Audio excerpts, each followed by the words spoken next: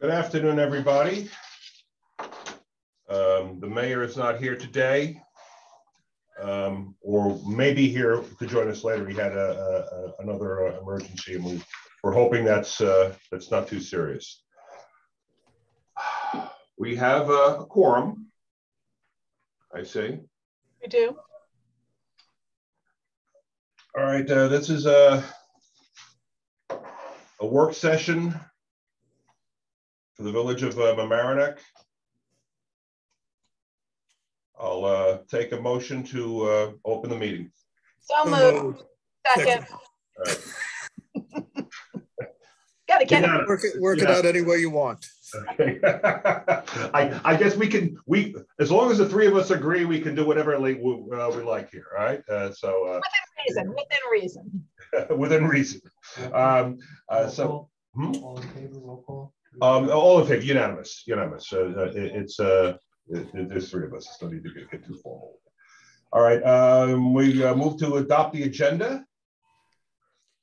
Uh, in adopting the agenda, which I'm happy to move, there, there's been a suggestion of putting discussion off till uh, next meeting because information came in today and nobody's had a chance to review it. Um, This is the, um, uh, um, one A. No, this is one, no, one E. One E. Said at the, la- we had said at the last meeting, it would be number one on the agenda. Mhm. And I think what we should do is make it number one on the agenda uh, two weeks from today. Uh, If the- nobody has an objection, I'd like to suggest that and move the, and move the adoption of the agenda accordingly. Yeah, I- I'd second that because we have, um, we got information today and I think, um, HCZ, HCZM Chair Burt isn't going to be able to come today or review it. So I think two weeks is a good idea. All right, all in favor? Aye. Aye. Aye. Okay, unanimous. We're put, uh, putting off uh, one E to the top of uh, the agenda in two weeks. All right, uh, and uh, we're, we've, we're adopting the agenda at the same time? That the motion was already to adopt it as well, Okay, great. without We're change. good. We're good. All right, so let's start with old business. Um, Enforcement of multiple dwelling law. Um, That's supposed to be for the second meeting in uh, April, so that should also be there. It would be number two. Oh, this is, this is not the second meeting. Okay, great. So that's, that's postponed as well. All right. Uh, one B then interim report on ad hoc ethics code review. And we have ad hoc, ad hoc committee members, uh, present to talk. Any questions? They're not- Oh, Dan's here. Yeah, Dan Okay, Carson. great. Okay, all right, great. Let's, uh, Dan, it's yours. Go ahead. Um, I'm not sure what you would like me to do. I don't know. Well, uh, I, I read through this. It seemed, uh, it seemed, uh, um, kind of complex. Uh, what are we, um, what, what's the bottom line on, on this, uh, on this, um, uh, these changes that, that you'd like to tell us about? Well, if you, if you read our report, the report dated December 17th, it goes through all of the, the many changes that we have recommended uh, for the re- revising the code of ethics. Uh, everything from the uh, definitions to the languages that is used to um, how the board is, um, uh, the ethics board deals with questions with uh, confidentiality, with disclosure statements. Uh, it- if I were to take you through uh, section by section, I, I essentially I would be reading the report because I don't. I think it is all substantive, Mhm. and there are a a lot of of changes that we are proposing. I thought the best thing to do would be to. Um, I mean, I I could spend two hours doing that. Let's, Uh, let's not do that. Let's not do that. Let- Let's, let's then just accept the report and, uh, and, uh, and postpone any action. I guess there's only three of us here. Well, I mean, I think, you know, I think we've accepted the report. I think we have to decide, um, I think, I think our next step is to for the board of trustees to go through it and um, and it's you know Tom's not here and he's the one that wanted to do it now. I think we need to um, go through and figure out because there are there's a draft revised law that that's been provided to us Mhm. and I think we need to we all need to figure out whether we want to make all the changes or some of the changes. That's And- because it, it, it, it struck me as being very complicated and I'm not sure that an, uh, uh, uh, a, an average person who would, would uh, join one of these boards would necessarily under, understand all of it. So I want to, I want to understand it a little more fully. Uh, Dan, you had something to say? Yeah, um, actually, I agree with you. Uh, um, Okay. uh, I think there, I- I have several things that, uh, first, I want to compliment again the committee because I think they've done an extraordinary amount of work, uh, tackled some very tough issues, made some, I think, meaningful recommendations. Uh, I don't agree with 100% of them, but I agree with a lot of them. But I do agree with the effort and the substance of what they were trying to accomplish. But I do have some specifics, uh, not um, of things that I'm concerned about. Uh, I think the definitions still are um, not in not easily understood in lay language from people who are not um, experienced, you know, in law or reading legal documents. Uh, so when you, you know, I think that that gets to be an issue. I think there should be some more on transparency. Uh, I'm concerned about having the subpoena power in there. Um, I'm very concerned about um, uh, it, it, if there's an issue, there's a referral, it, it says it uh, goes to the village manager. I don't think the village manager should be involved. I don't think that is the right role. Um, I am concerned about, we have no timetables for the ethics board to act. And I think that is a major issue. Uh, if it's a land use board, I know there was discussion, at least one of the meetings that I uh, listened to that where the uh, committee talked about um, if there was a land use board that they had to do, make every effort to um, resolve the issue uh, before the next their next meeting, the next land use board's meeting, or at least comment to them that they are there's an issue that they are investigating with a timetable.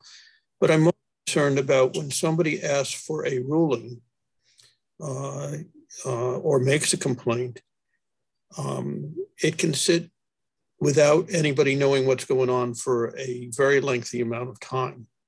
Uh, and I think that, you know, that after 60 days of, you know, something coming before them, they have to notify all parties involved. And every 30 days after that, give them an update as to where things are. Um, uh, that would, in my mind, make the uh, the process move on a more reasonable timetable. It doesn't mean that they can't take the amount of time they need, but um, I know there have been investigations where all parties were, were not notified and action was taken. I know that um, people have made uh, asked for um, clarifications or um, you know asking for a you know guidance uh, and it has been there for many, many months and sometimes over a year. Uh, and this goes back over many, many boards. So it's not a reflection necessarily of those who are on the ethics committee today, but it goes back over a long period of time. Uh, no pun intended on that. So those are the types of things that I am uh, concerned about. Um, you know, and uh, I think these are things that um, Dan is right. It's now in the Board of uh, Trustees' lap to try and go through um, and work out uh, the things that you know should be uh, updated and how they should be updated, and agree or modify uh, um, or not accept. You know, I think that that would be the approach, and it's not going to be. Um, uh, uh, Lou, I don't think it's going to be uh, simple to do. So I think we need to set aside some time to do it. you know, at a work session. Uh, there are many pressing things, you know, in front of the board right now, like not the least of which is the budget. Um, so maybe we can set some time aside, uh, maybe after the budget, because that will um, that that will be taken care of in a relatively short period of time, and then we can devote, you know, a you know maybe a meeting to that. That that would be my suggestion. Yeah, this seems to deserve its own um, its own work session. Uh, there's a lot here. Uh, uh, uh Dan, I, uh, um, Mr. Carson, I, I read in there that you, you, there were some recommendations about moving some training um, responsibilities from the manager to the, the board of trustees. Was that did I read that correctly? no, from the the ethics board to the village manager village manager. I see. And uh, your your your um, uh, rationale for the village manager was to keep it uh, what politics free or? Uh, no, the uh, well, it should be politics free. The the recommendation is based on the fact that uh, ethics training is extremely important, should be regularized, and rather than give it to a volunteer board that meets on occasion, does not have a staff, mm -hmm. um, and is not paid for its work, it it should uh, fit the pattern of ethics training that is present in private industry and in government, where HR is responsible for ethics training and it is regularized and HR can keep track, or the village manager can keep track of its own employees uh, for purposes of training. It, it would be, I think, highly unreliable to ask a volunteer board uh, to take on that responsibility. And in private industry, which I can speak for because I came out of private industry, ethics training now is highly regularized. There are a lot of firm, a lot of private firms that administer it. It is the better choice, I think, to retain the services of a firm that administers ethics training. Uh, can be done online. You can keep track of it. Uh, it you calendar it. You know who's taking it, who's not taking it, and it's it's very very efficient, and and that's the reason we made the recommendation to transfer it from the volunteer ethics board to the in effect the village's own employment arm, which is the village manager. And, and, and is there? A, can I ask a question if you don't mind? Uh, sure, Dan. Go ahead. Um, is there a reason that you've asked for the village manager to be responsible or the HR department? Well, I view, I view that as a difference our understanding was that there was not a formal HR department at the time we did our work. Uh, I think we were informed that there was an HR, um, there was HR staff being denominated or HR staff coming on. But since the village manager was the established hirer and supervisor of village employees, we felt that's where it should sit. But if I can speak for my committee, I don't think we are particularly wedded to which office at the village administers it as long as it is a permanent office of the village, has a budget, has the staff to uh, administer the program, and can do so in the way that almost all firms conduct such training, which is online, controls the uh, the IT structure for it. Uh, so if the board decides, the board of trustees decides that another office should handle it and it is made permanent and there's a structure given, then that's up to the board of trustees. Okay. You know, from an administrative perspective, we do have a an HR department now, headed up by uh, Danielle Gilliard. Uh, we have a software program. Uh, speaking, not speaking of, speak of the, uh, my friend, uh, we do have a, a, system in place where uh, schedule training is scheduled online. There's an online tracking system. People have to go through the process, and it just it's uh, also set up in such a fashion that you just can't press next, next, next, next. You actually have to go through the process, and it records it, it tracks it, so we we know who completes it. It's how we do the annual training for sexual harassment and workplace violence. So. And then, and and we also have some trainings that are resuming in person. So that's happening next week, I think, starting next week. Uh, Lisa. Um, I think we should uh, um, uh, schedule this for uh, uh, its own work session at some point. Are, are we, are the three of us I ready to do that now, or, or should we wait for uh, uh, our two absent uh, partners? I think we need to wait for our absent partners, although, because I don't think we should do it at a regular work session. I think we should do it the way we're doing the budget work sessions and have a Sure. separate. meeting. So, but maybe let's decide to do it and then circulate some dates. Because we don't Okay, have, um, uh, let, let's move then that we will, uh, uh, that we will, let me move that we will, uh, set a, uh, a separate work session for the, uh, recommended, recommended changes to the, uh, ethics, um, the ethics ethics, uh, rules, I guess, uh, uh, uh, from the uh, ad hoc committee. And, uh, and we will, uh, uh, set that date at a later time. And Mr. Carson, you'd, you'd be available, uh, your people would be available to participate in that? If you give us the, the date that you have in mind, um, assuming that it does not conflict with calendars, then of course we'll, uh, we'll attend. The, the most lead time you can give us, or perhaps a couple of alternative dates, uh, would be very helpful. So my co-committee members can uh, attend. I think if we had a critical mass of a couple of them, of the six, uh, that would be great. Um, and if I may be uh, presumptuous enough to make a suggestion, Sure. what I, what I had in mind was that uh, the trustees perhaps would read the final report and then perhaps in advance send to us the questions, comments, criticisms that individual trustees had, such as, as Dan Atch has pointed out. And thank you, Dan, for your comments. Um, we would then be prepared to explain to you why we made certain provisions in the proposed code, what our thinking was, what our rationale was. And that might make the next session or the session that you plan uh, more efficient. And, um, and, and I would emphasize that we were a committee making recommendations. Uh, uh, the trustees, of course, are the, the legislators that enact the code.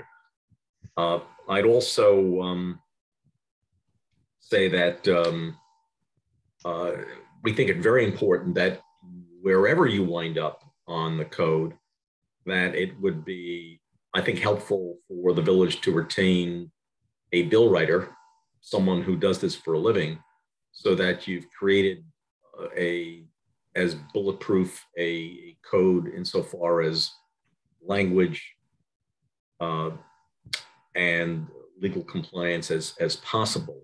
Uh, and I say that because in my reading of the code, our reading of the code, there we found uh, a lot of inconsistencies in terms of the use of language terms and a, a number of places where I, I pointed out in the report, I felt there were phrases and words used that would not stand uh, legal scrutiny if they were challenged. So a bill writer who was familiar with enacting or writing laws that say the legislature passes would be, I think, a good final filter for whatever code you came up with. I, you know, Right.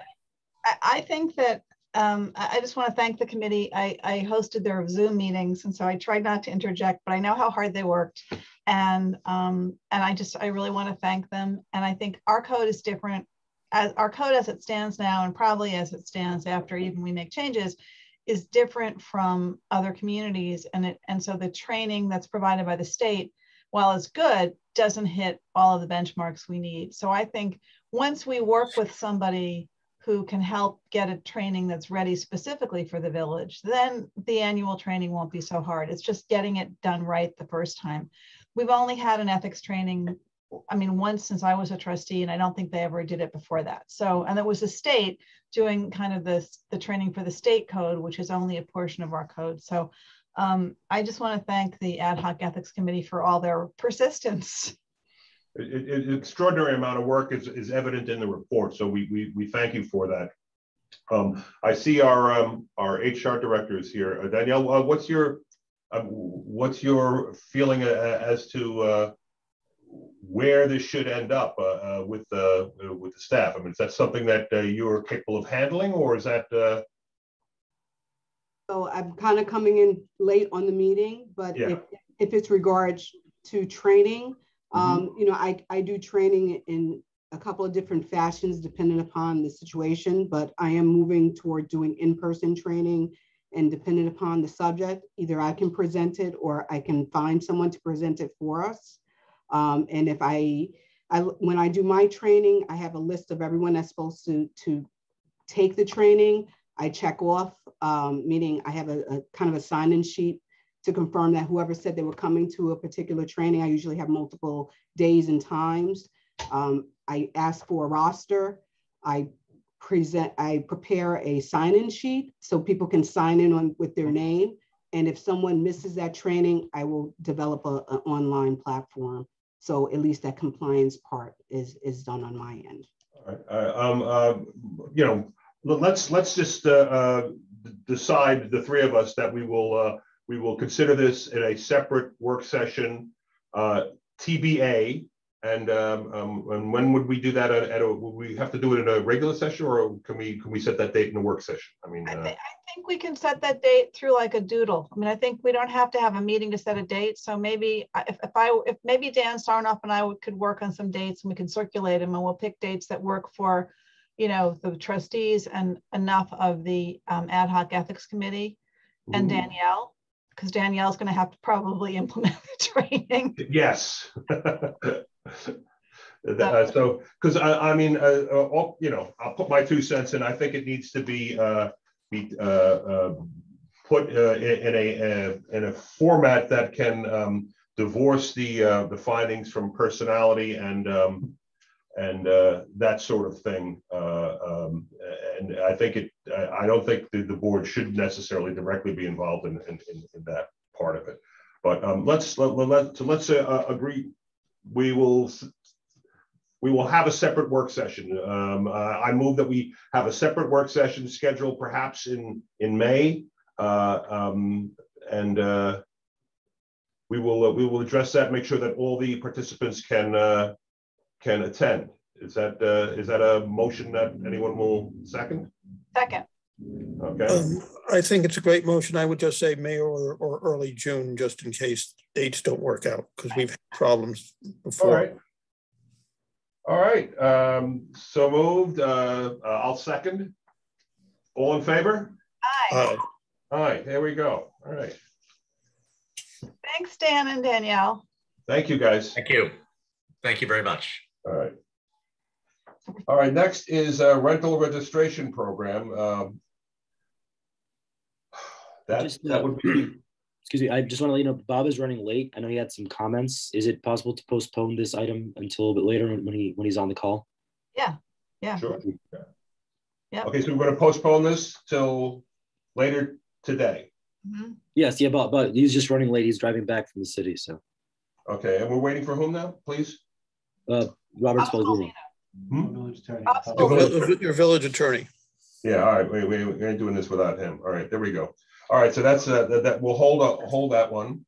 Um, one D, planning projects, no, that's on for April twenty-fifth, regular, mi- uh, okay, yeah, it's a regular, uh, uh, on for the, um, April twenty-fifth meeting. Zoning strategies to encourage and support all affordable housing development. Um, completion and comprehensive plan update, development moratorium for properties in C1, C2 zoning districts located in a federally mapped floodplain. Um, we want to simply put that on the, on the, uh, the, uh, agenda in two weeks? What do we want to talk about? Uh, You know, we ha- we have Neil here. We have our planner here. He's in the waiting room. We have the planner who's been working on this, so we might want to. Okay, Yeah, the, the, uh, he- Neil was supposed to give us a outline for Yeah, to- he did. consideration to move forward, and we have not yet received that. So did. if Dan, if Neil can give us a quick Let's update. bring him of in what then. he's thinking about, That would be helpful. No, he, he did give us, so we do have, we do have the proposal for the comp plan. What we don't have is the proposal for the moratorium. We have the proposal for the comp plan, to complete Okay. the comp plan. Hello. Hi, Neil. Hi. Um, so I, I, I did I do have as Dan had has posted on the uh, agenda the uh, streamlined version of the uh, update uh, and completion of the comprehensive, comprehensive plan. And um, just uh, re real briefly in, in highlights, uh, you know, I took Trustee Tafour's suggestion and other suggestions to streamline the the process. And I and, and if you if you look at the the proposal, the memo, uh, that are highlighted in yellow are the sections that I believe we should uh, focus on, uh, which is the sustainability, uh, residential neighborhoods, land use and development. Now, uh, there's, I for the other sections, for example, transportation systems, municipal parks and recreation, I, I do want to provide uh, the, the, committees or, or, or, other relevant persons the opportunity to mark up the, uh, the, the, the, November 2020 draft, which was latest version, to be able to reflect any changes and things. Uh, and you know, we could certainly uh, enter those in. So um, while in terms of the substances focus uh, are those four sections I mentioned, um, and as far as uh, more kind of uh, uh, process update by staff and, and, and, and, and trustees or trustee liaisons or several of the other sections. Um, there are a few other sections. Uh, for example, historic preservation was a short section. I currently say leave alone. Uh, you know, if there's a, a, appropriate committee that you know would like to review that, I can certainly you know we can certainly do that, of course. Um, and so the uh, the the, the, the budget I think is uh, is now twenty two thousand five hundred. Uh, and I, I uh, I'm, I'm, if there are any questions about this, I'll be happy to answer that. Uh, and then I can tell you more about the moratorium proposal. Dan? Yeah, uh, Neil, that's very helpful. Um, one comment is I think not only do we need to leave it posted on the website, but we need to indicate that people who wish to comment are, you know, can certainly comment during the period of, you know, we're moving forward. Uh, I, I don't want to have people feel that they're excluded because they don't happen to serve on a particular land use or other, you know, ad hoc committee that's directly involved with one of the sections. Um, I think that they need to have the ability to uh, um, make any comments they want. You know, eventually go to a hearing anyway, we should make it available to let them, you know, make their comments as we are moving forward. Uh, absolutely, we can post uh, the November 2020 draft. We can we can post for uh, members of the public uh, to also view and comment on. And and I do think that especially with Parks and Rec, there have been a number of um, personnel changes on the on the boards and committees. So I think uh, like giving them a, a chance to look through it would be helpful as well. Sure, sure. So. All right, uh, you want to fill us in on the um, moratorium? Yes, so uh, it, uh, it, so if you recall at the, the previous moratorium study, uh, I brought in Urban Partners, a Philadelphia firm, and Jim Hartling was the gentleman who uh, who who came up with the, the calculations behind the redevelopment scenarios. So uh, he's semi-retired, but he does pick and choose what he wants to work on, and he was happy to work on this along with his current, uh, along with Chris Lankenow, who is the staff person currently at Urban Partners, who uh, assisted on the uh, the first moratorium study. And so I do have a I do have a draft memo uh, prepared with, um, uh, and, and it'll follow a fairly similar trajectory as the prior moratorium study in terms of the scope of work, redevelopment scenarios, the fiscal and social impact, uh, socioeconomic impact assessments, and the traffic impact assessments, uh, excuse me, assessments. And uh, I, I have a draft memo. I'm just waiting for a budget number from our traffic group.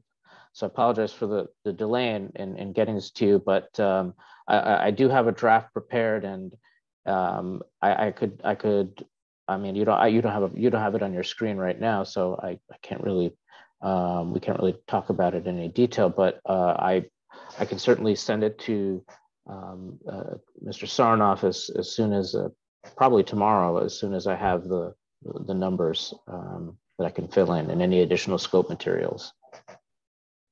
Uh, also, I think, you know, we've gotten a lot of comments on this agenda item today, and I know um, that it's really Tom's item. So I think, you know, we Yeah. should make any decision today because I think he's going to want input. That's really, he's the one that raised this. But it's it's limited to the C1 and C2. We've gotten several comments from people who would like it to be extended to other residential areas. But I and I I, I completely understand that because mm-hmm. Resident, sing, you know, single and two family residential areas which surround these commercial districts were, were very significantly hit during the flood. How much different would that study be? Well, uh, I believe in the last study, um, I do have actually, I, I, did put a, I have a map actually in the in the proposal, which is on my screen right now, of course. Uh, and and I do I did notice the RM3, the the RM3 districts. During the prior moratorium study, we did look at the R4, but I think the the main distinction uh, that the at least well, I'll, I'll I'll certainly let the mayor speak for himself when he's available to was um, the the infill housing provision, mm-hmm. and uh, you know where there's currently it's it's a commercial zoning district, uh, mm-hmm. C1 and C2, uh, and through the infill housing overlay, there is potential to to build uh, multifamily uh, housing in this district, and the concern was creating new development, which potentially puts um, uh, which potentially increases the cost of services, emergency services, potentially puts people in harm's way. And so um, I think in terms of if, if there's interest in expanding it, um, that's possible. But I think I, I, do know, for example, there is a property um, that has an application. Uh, it's right in front of Columbus Park, uh, where there is a, a, small building that is going to be converted into a um, into a, a, potentially into a into a apartment building, and I, mm-hmm. I noticed that, and that's in the RM3 because one in in my conversations with Jim, I, I had forgotten that that district is not uh, commercial, but I said, well, you know, technically speaking, if you're if you're building a new building in place of the current building from a you know it's it's potentially uh, alleviating in, to some degree um, uh, because it was built to floodplain regulations above above base flood uh, base flood elevation. Not notwithstanding, of course, you are you know the, there's other factors that go into that, but um, we but but I remember then that that property is not within the um, the C1 uh, where you're converting commercial into multifamily. So uh, but uh, to answer the, the question in, in a long-winded way, I mean, it's it's quite possible to extend that to include the RM3.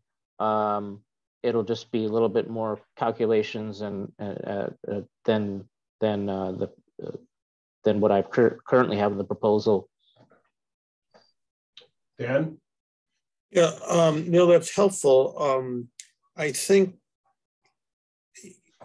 rather than just talking about C1, C2, RM3, or RM4, uh, I think part of the issue in which the flood committee brought up uh, is anything in the flood plain, which is, is, a different concept than whether you're in the RM3, RM4, or, or you know, in a C1 or a C2. It's a different, it's a different approach to the same issue you know, because the, the concerns they were having and had has to do with emergency services, you know, uh, et cetera, et cetera. Um, and that that that doesn't resonate in terms of specific zone because properties can, you know, be in two zones or et cetera. So that's one thing. The other thing, um, and I've had problems with other, I'm not suggesting your studies, but other studies that have concerned themselves, quote, with traffic, the emphasis has been on uh, vehicle traffic as opposed to pedestrian traffic. And there is a big concern in this village uh, of making pedestrian crossings and pedestrian uh, ways um, meaningful uh, and much safer And they that seems to have been sort of a minor aspect of what people have looked at in the past. Mhm. You know, the the concerns that I hear is, well, if you do this, the traffic is going to be, you know, take longer to get from A to B and B to C. Um, and so there needs to be some type of equilibrium for keeping traffic reasonably moving, but maybe not fast moving because everybody's complaining that people are speeding, you know, between, you know, between lights, if you will, or to make the next. Um, so maybe built, you know, we need to look at, you know, maybe we need red lights, if you will, and four-way stops or things like that to allow traffic to move, but also make it safe for pedestrians and have some type of equilibrium between the two. Uh, right, I, I would agree, and that's you know that's that's a whole traffic engineering conundrum now, where everything's based on level of service, uh, which is very unilaterally about vehicles. Um, I think that I think the methodology can be adjusted, and um, I can work with the, the traffic engineer to to to create a scope that's more balanced uh, and not single-handedly about vehicle congestion, but factors in safety for pedestrians uh, and bicyclists and other other other users besides cars. So what I'd like is if you could do that and extend it to the floodplain, if you will, i.e. areas that are known to flood. Um, because You that, talk- you- You're talking about the, uh, what he'll do during the moratorium, right? that's correct. Yeah. I, i.e., instead of just simply saying C1, C2, uh, there is some overlap in floodplain, and then there's areas that are not overlapped in floodplain, which is great. I think that, you know, that, that needs to be, come forward. But there are lots of areas that are flooding, you know, in, you know, the area that we've been concerned about of recent date um, that aren't in the C1, to C2. Mhm. Yeah. Yeah, Just, So, just, so we need, we not- need to, we need to define that, uh, the area, uh, first of all, uh, and I, we're gonna have to wait for Tom on this. Uh, um, But I, I hear what you're saying, because i- i- if that area ne- near the park is not included, uh, we need to probably address that.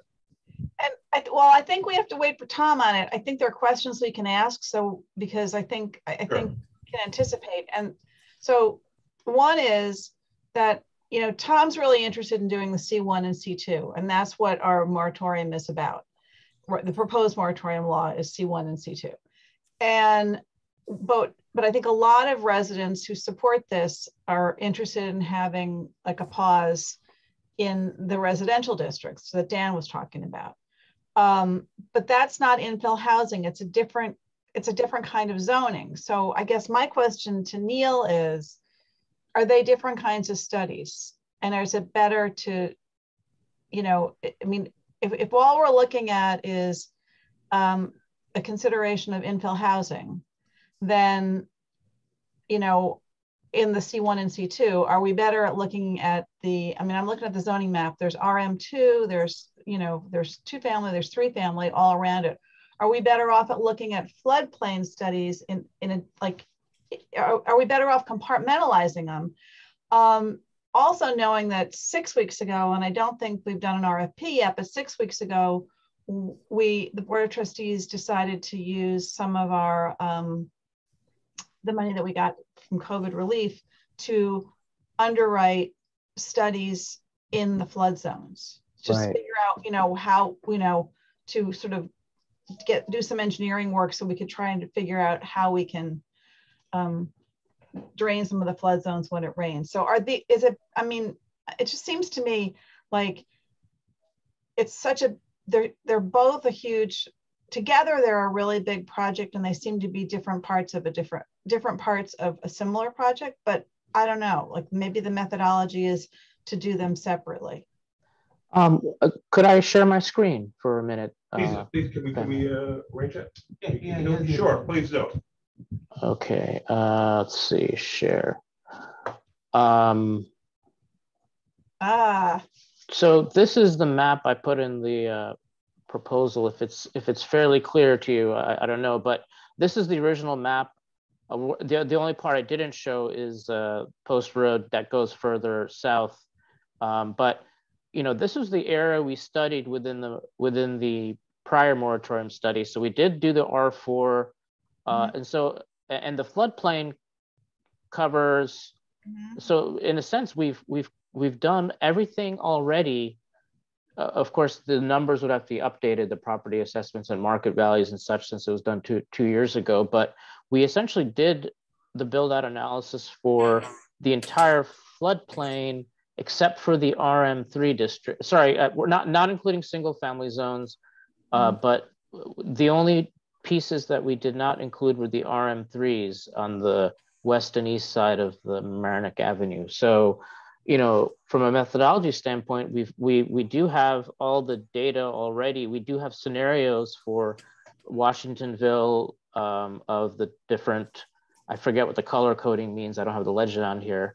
Um, but uh, if, if it's a matter of adding RM the RM3 zones, that would be look at the that would look at all the multifamily C1 with infill C1 C2 with infill zoning infill housing overlay, um, the R4 and the and we would just need to add the RM3 districts. How much time do you need to do all that? Oh, um, uh, depend on the calculations wise. I think we have we have all the spreadsheets. I saved everything from the previous moratorium study, Mhm. which helps in terms of efficiency. However, they they would need to be updated the numbers and and so I I I- I'd have to I have to look back at at the schedule we had for the prior moratorium study. Um, it took, I mean, the process took about a year for the for the for the moratorium study, but it had a lot of elements and it did, you know, did kind of take on a life of its own. Um, I, I can, I can provide, I think what I will do is provide a, what I should do in this draft proposals also include first the modifications based on trustee Natchez uh, suggestions about pedestrian and bicycle traffic. Uh, whatever you decide about the areas to, if there's any interest in, it, in including other areas, and then a timeline so we can give you a sense of how, how long this would all take. So, I mean, I don't want to put words in Tom's mouth, but you know, Tom wants to stick to C1 and C2. And um, I think, you know, his mind might change after he's read some of the comments and and but again, if we're thinking about it as an evaluation of zoning, the zoning, the zoning is different. So a C1, C2 change would be different from the other zoning changes. So maybe in thinking about it, it could be, I'm glad that a lot of the work's already been done, but maybe it could be like done sequentially. I would say the traffic part, if if there was interest in expanding it uh, beyond C1 and C2, um, that would mean more intersections to examine with a longer traffic traffic study process. So basically, it wouldn't be in all the project wouldn't be as compact, but that's that's uh, just what what it is because it would be focused on C1 and C2. So really, you're looking at three intersections primarily along Mamaroneck, Mamaroneck Avenue, maybe four at Halsted and and um, on Halsted. Yeah. My, my, limit on this- my, my concern with this discussion right now, and I know the flood committee has been, which is where the moratorium uh, suggestion came from uh, a few months ago. Um, I think we need to try and do an overlay, you know, in terms of floodplain administration, you know, and for zoning. Uh, there are areas that are single family or two family uh, that are built in the floodplain. The question is, you know, what should we, what should the future hold? Should we have encourage them to be raised? Should we prevent them from being, you know, um, new new things being done at the, you know, just at the FEMA level, which in uh, I'd approve to be uh, um, way under um, you know, if people who fought, raise their houses according to the, uh, FEMA still flooded. Uh, so I think we need to take a, a more holistic view to that and, you know, along with infilled housing in C1 and C2, if you do that, if you do the C1 and C2 in the overlay of the floodplain, 90, per, all of the area that you've shown is there. And then there's, some additional area that you would be adding, but you would be adding it more from a floodplain view than you know, in development, et cetera. And that would be include, Does that make any Properties that are- sense, Neil? uh, well, would that include, uh, that would be primary, only residential properties in the floodplain or, or also commercial properties? It Would uh, be anything, anything you build. You know, I mean, that, that, that, that's really what you're talking about. Yeah. Um, it doesn't do any good to build something that is gonna, you know, be flooded. Well, I mean, but, but the, the, the truth is, what floods now might not flood later when we actually do something about the flooding. So, Well- um, uh, Well, it, it, you gotta, gotta read the Corps, the, the Corps study because why it will help, Lou, there's no question it will help. It's not gonna stop flooding. Uh. And, and what it does is it reduces the level, but if you take a look at, I don't know, I, I, I get that, but, but, uh, when we're talking about the, uh, the Army Corps plan, we're talking about, uh, uh, the emergency, um, uh, cleaning of the rivers that, uh, we are about to begin. Uh, and, and a number of other, things we can, undertake to actually address the flooding, which is, which is the, the issue here. I mean, I like, that moratoriums are fine, but, but, uh, but what are we doing in, in that time? Uh, and what are we, what are we trying to, uh, to ascertain? I mean, um, that's, that's, that's the question. I mean, how much time do you need to, to do this study, Neil? Um, now, now with, with which uh, scenario in terms of the expanse? Because this, that's a, that's a big project to, uh, with a lot of public process that would be involved, probably more than just like a moratorium study in some ways. If you're looking at, you know, the future of what you can do in, in the flood zone for, for residential properties, um, that, that's a much larger uh, take, a, a larger, uh, uh, you know, uh, um, scope and, and objective and, and process because you're you're getting into the residential neighborhood. So, um, you know, I think this, you know, if you're if if this original potential moratorium C1 C2, um, that's compact and I don't know, maybe potentially, just hypothetically speaking, you know, let's say it takes about three months to complete um, the the moratorium study for the C1 and C2, maybe that's something that could be that process um, could be something to inform looking at the rest of the floodplain um, Right. beyond just C1 C2.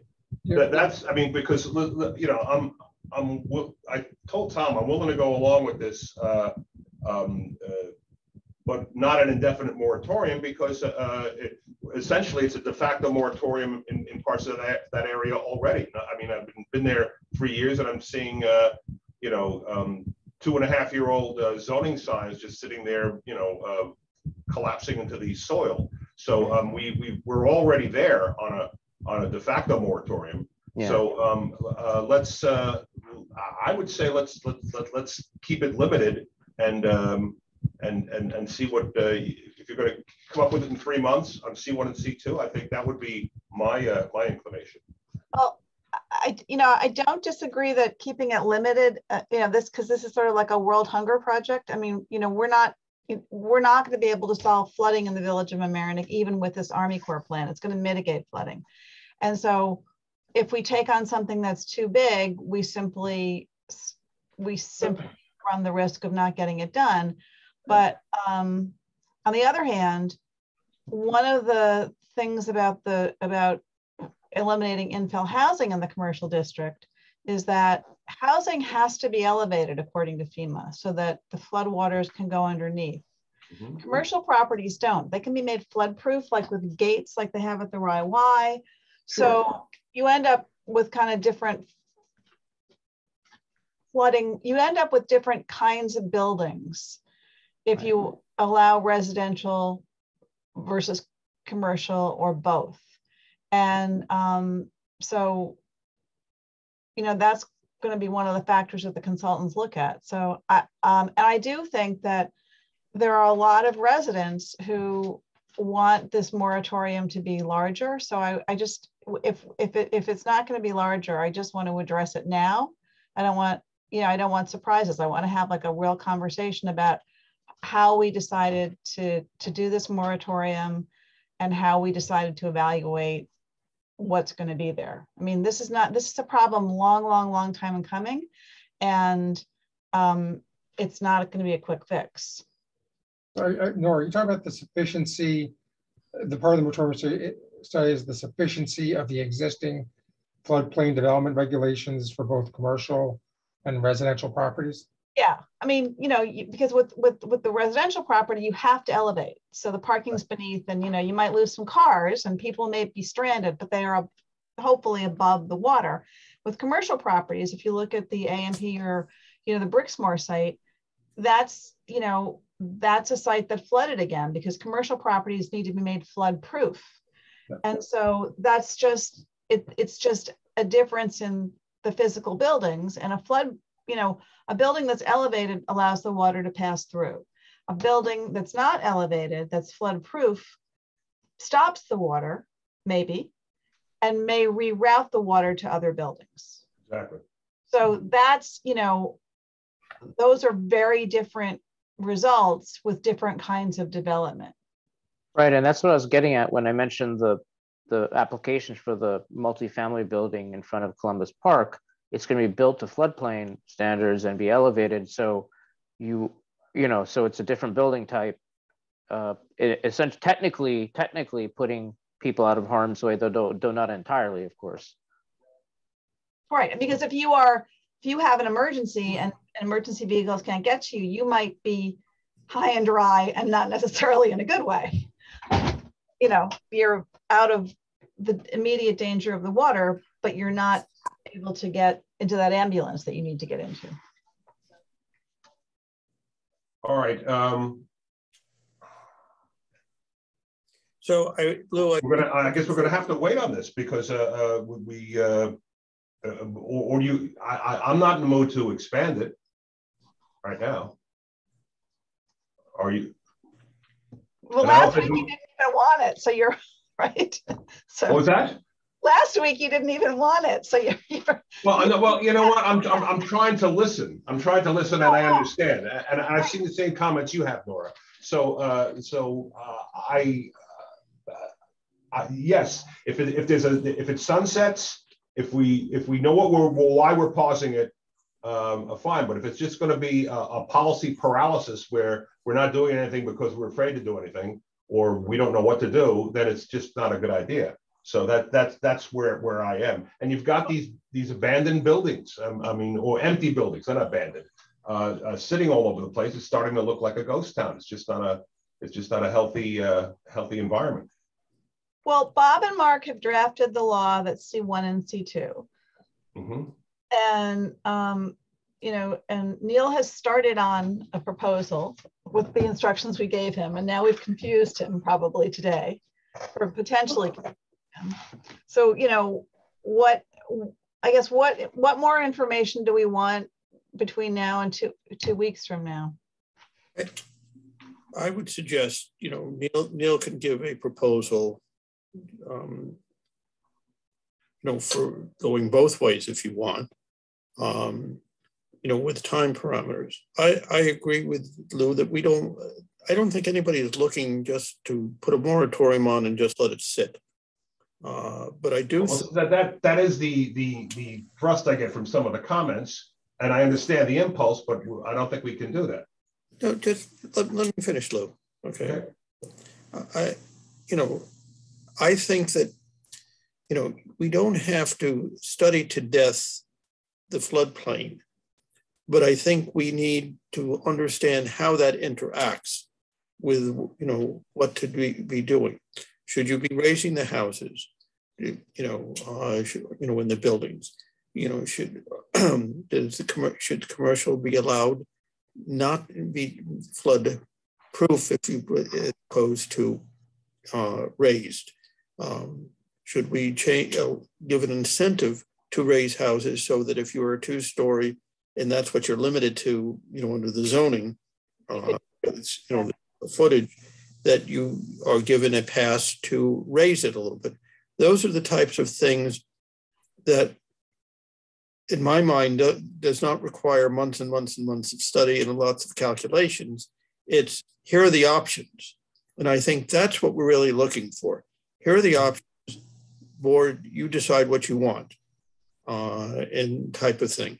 And that can be done, you know, all due respect, in a relatively short period of time. The infill housing on C1 and C2, I think, is a major part of that. Uh, but I think just looking at the comments today, then looking at what the floodplain uh, committee came up with, you know, we started the moratorium issue. Um, and, uh, and they have very specific concerns, pro and con, of what to do with such things as the proposal and the, the small building, which um, Neil has referred to. Uh, not, not because of that application, but the concept of the application. And I think that's what we need to concentrate on is, you know, what do you want to move to? Because if you don't do that, you know, you, you're going to continue to have more of the same. You're going to have, you know, problems, um, and not, not that we can solve them all, but you're going to have more and more problems. And I all right, so what do we what do we want to do, guys? Uh, I, I we put it off uh, for the regular meeting in, in two weeks? Is that uh, is that how it? Yeah, but I, I think I'd like to see Neil's, you know, a proposal from Neil going both ways. Um, is that a motion? I'm happy to make the motion. I, I don't think we need, we can, you know, we can do it by consensus if you want, whatever, however you'd like to do it. Uh, Neil, is that is that something that will that will you can do easily that won't won't overly complicate this? Because I, mean, I think uh, I think the easier the easy part will be well. I mean, if I'm using the same methodology, I think there's there's some fundamental questions that you know that every town that has this issue has to grapple with, which is what we're which the village is grappling with. Um, you know, do do you you know what what do you allow people to do? What are the incentives?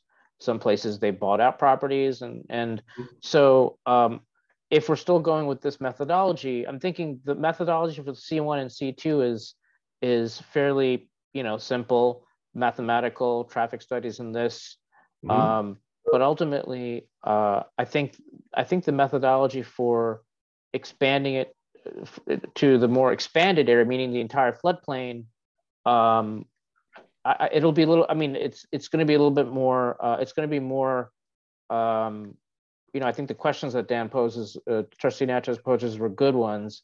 I just feel like it's it, it would have to take a a, a a, different methodology than than the limited area possibly. Um, uh, I just need to. I need to. I would. I wouldn't be able to. Basically, I wouldn't be able to give you a extended, the full-on floodplain proposal. You know, in, in in a few days. I need to really kind of think about that and uh, um, and and see how how that would work out, unless you you wanted a similar methodology. Um, well, I'm I'm, I'm going to suggest that we uh, uh, that we um, deal with the C1 and C2 uh, moratorium proposal that that we have on our plates here. I'll put that on for two weeks, and then if we want to in the in the work session um, that uh, that same day, earlier that day, if we want to discuss uh, expanding it with the full board, then we can do that. Uh, but I don't think we should do it. I don't think the three of us should should expand it. But now it's just going to slow things down, and uh, we don't know what what the. Um... Lou, that's one of the reasons I'm asking for two different proposals. We don't have a pro proposal yet for the C1, C2. Right. Neil is almost finished with uh, being able to provide. Right. Uh, he's heard a lot of comments. He may be able to come up with something in two weeks, and that that could help outline, you know, what whether we want to go on both courses or one course or no no courses. I, that, I crystallize the discussion. I, I, I hear it. I also, I, am also thinking that um, I, I want to know, you know, what the status of the stu, you know, the flood engineering studies that we asked for are. I mean, maybe, maybe we're, I don't know if it's, I don't know what the schedule is going to be, whether we have to wait till we have this funding or whether we're going to start the RFP process. But there has also been that Neil may not know about. Um, there's going to be a substantial um, redo of, there's a repaving of Mamaroneck Avenue. And so the, and, the, and the county owns Mamaroneck Avenue from um, White Plains to basically the railroad bridge. And yeah. so um, there are going to be some changes made to those intersections. And so there's Mm. been studies done there. So that might be factored in. So it might be kind of three thoughts, like the C1, C2, and then the remaining part of the floodplain, but that the traffic studies would be one because it's kind of one area with one set of traffic signals. And some of it may already have been done because we've been doing these walking assessments and the county did some studies. So maybe we need to get that to Neil too. Yeah, I, I can talk to Neil separately about some of the uh, traffic items we're working on, the CDBG grants we've received. Um, I did have a question. I don't want to belabor the point, but you know, part of the uh, item tonight is the completion of the comprehensive plan. Do you want to treat that as a discrete item and move forward on that bef- while we still wait for the second? uh, Yeah. full deal, Or, Thank you, Dan. okay, that'll be good to, to get that Yep. checked off. that one we'll, we'll put on for the, the 25th with the board's Right. you consensus. Yeah, thanks. Now, as far as the zoning strategies, do you want to talk more about that or, or uh, another time? The third uh, uh, item on, under the, Yeah. um, I, I think we have to wait. I'm, well, there's three of us here. I think we need to wait. Well, Victor's here. Victor is, I see Victor. Victor is here? Yeah, I, but I mean, you know, it is something that, I mean, it's, it's something Tom put on. I mean, obviously, we're not gonna make a decision tonight. So I, uh, you know, it's a, it's a big issue. If, if, you know, if Neil has some, if he, if he wants to throw out some ideas we should have been thinking about for the next two weeks. uh, well, I think, uh, well, I mean, there is a little bit of, uh, you know, overlap in terms of this moratorium study. If, if in the future you're looking at infill housing, or if you're, you know, at least what came up when I was talking with the village manager and, and Mr. Sarnoff is the concept of a affordable housing overlay, um, which I believe is, is, is something that might have come to the trustees, correct me if I'm wrong. Um, you know, that has some, the, the, the work we do, clearly, you know, if you're, you know, whatever you, the infill housing overlay is something that, you know, you could hypothetically see an overlay being placed on a certain properties or areas of the C1 or C2 where you might apply this, this overlay. Uh, and you'll be coming against the question of development in floodplains through that means as well. Right. Um, you know, putting, and that's, that's a question, but I think really I just wanted to find out uh, eventually, it doesn't have to be now, um, whether you're looking at a very specific, uh, a specific zoning strategy, this affordable housing overlay concept, um, or uh, are you looking at uh, kind of a more broader thing that includes zoning, but also other strategies uh, that are kind of programmatic uh, in terms of affordable housing? Um, and so that's that's just a general general question uh, you, which which for you to think about. I think there was an article that was on one of the agenda items associated with that, which had some uh, suggestions for what uh, other other things the village can do beyond zoning uh, to allow people to stay in affordable housing. And so the so the question is, um, you know, is there a need for a broader uh, strategy, um, or is there uh, something, or is there is there commitment to focus on one or two specific zoning strategies and, and try to move forward with those? Okay. Well, you have three different things here, That's right? good. So uh, that, uh, I I think with affordable housing, we need to look at everything. Um, Right. The concept, comprehensive plan certainly dovetails with that. Right. And so in the comprehensive plan, without a doubt, I think on a very uh, basic level uh, is a place where we can start to um, uh, just put into place certain uh, recommendations or certain things that the village should consider. Um, and so that that is a place, and that's why the land use and development section is going to be one of the four areas that uh, we we focus on specifically because I think there there needs to be a little bit more teased out in the in the write up about affordable housing. I think there's more to be said in there, and that could help you know, uh, influence the the way the path that the village uh, would like to go. All right, so these uh, these items will all uh, are all on for April 25th then, right? Yep. Okay, and and we're not tinkering with them in any way. Now, No, right. okay, great. Do we need to do we need to vote on that? no, Okay, all right. Thank you. we're good, I think. I think Like, as I mentioned, it's my second meeting I'm chairing since uh, high school, so this is a we got a good team here. huh. There's a good team here. all right. Th thank you very much, uh, Neil. Appreciate it. Thanks. Thanks. Take care. Thanks, Neil. Okay, uh, I see that uh, Mr. Sp- I saw Mr. Spolzino was here. Oh, here he is. Yes, yeah. So let's go back to the um, rental registration program. Sure. So I gave you a lot of material in your packet. Um, It was homework. There'll be a test um, when I'm finished. Yeah. Thanks. Um, So what happened was we started doing research on this. And as you may recall, this is a law that um, Jerry essentially imported from the community in which he worked in New Jersey. So I knew there were laws like this, rental registration laws in New York. I thought it'd be a good idea to take a look at them. And I came across a couple which I've included in your package. And one of them, the Southampton law, which has been around for a while, um, has also been the subject of a legal challenge.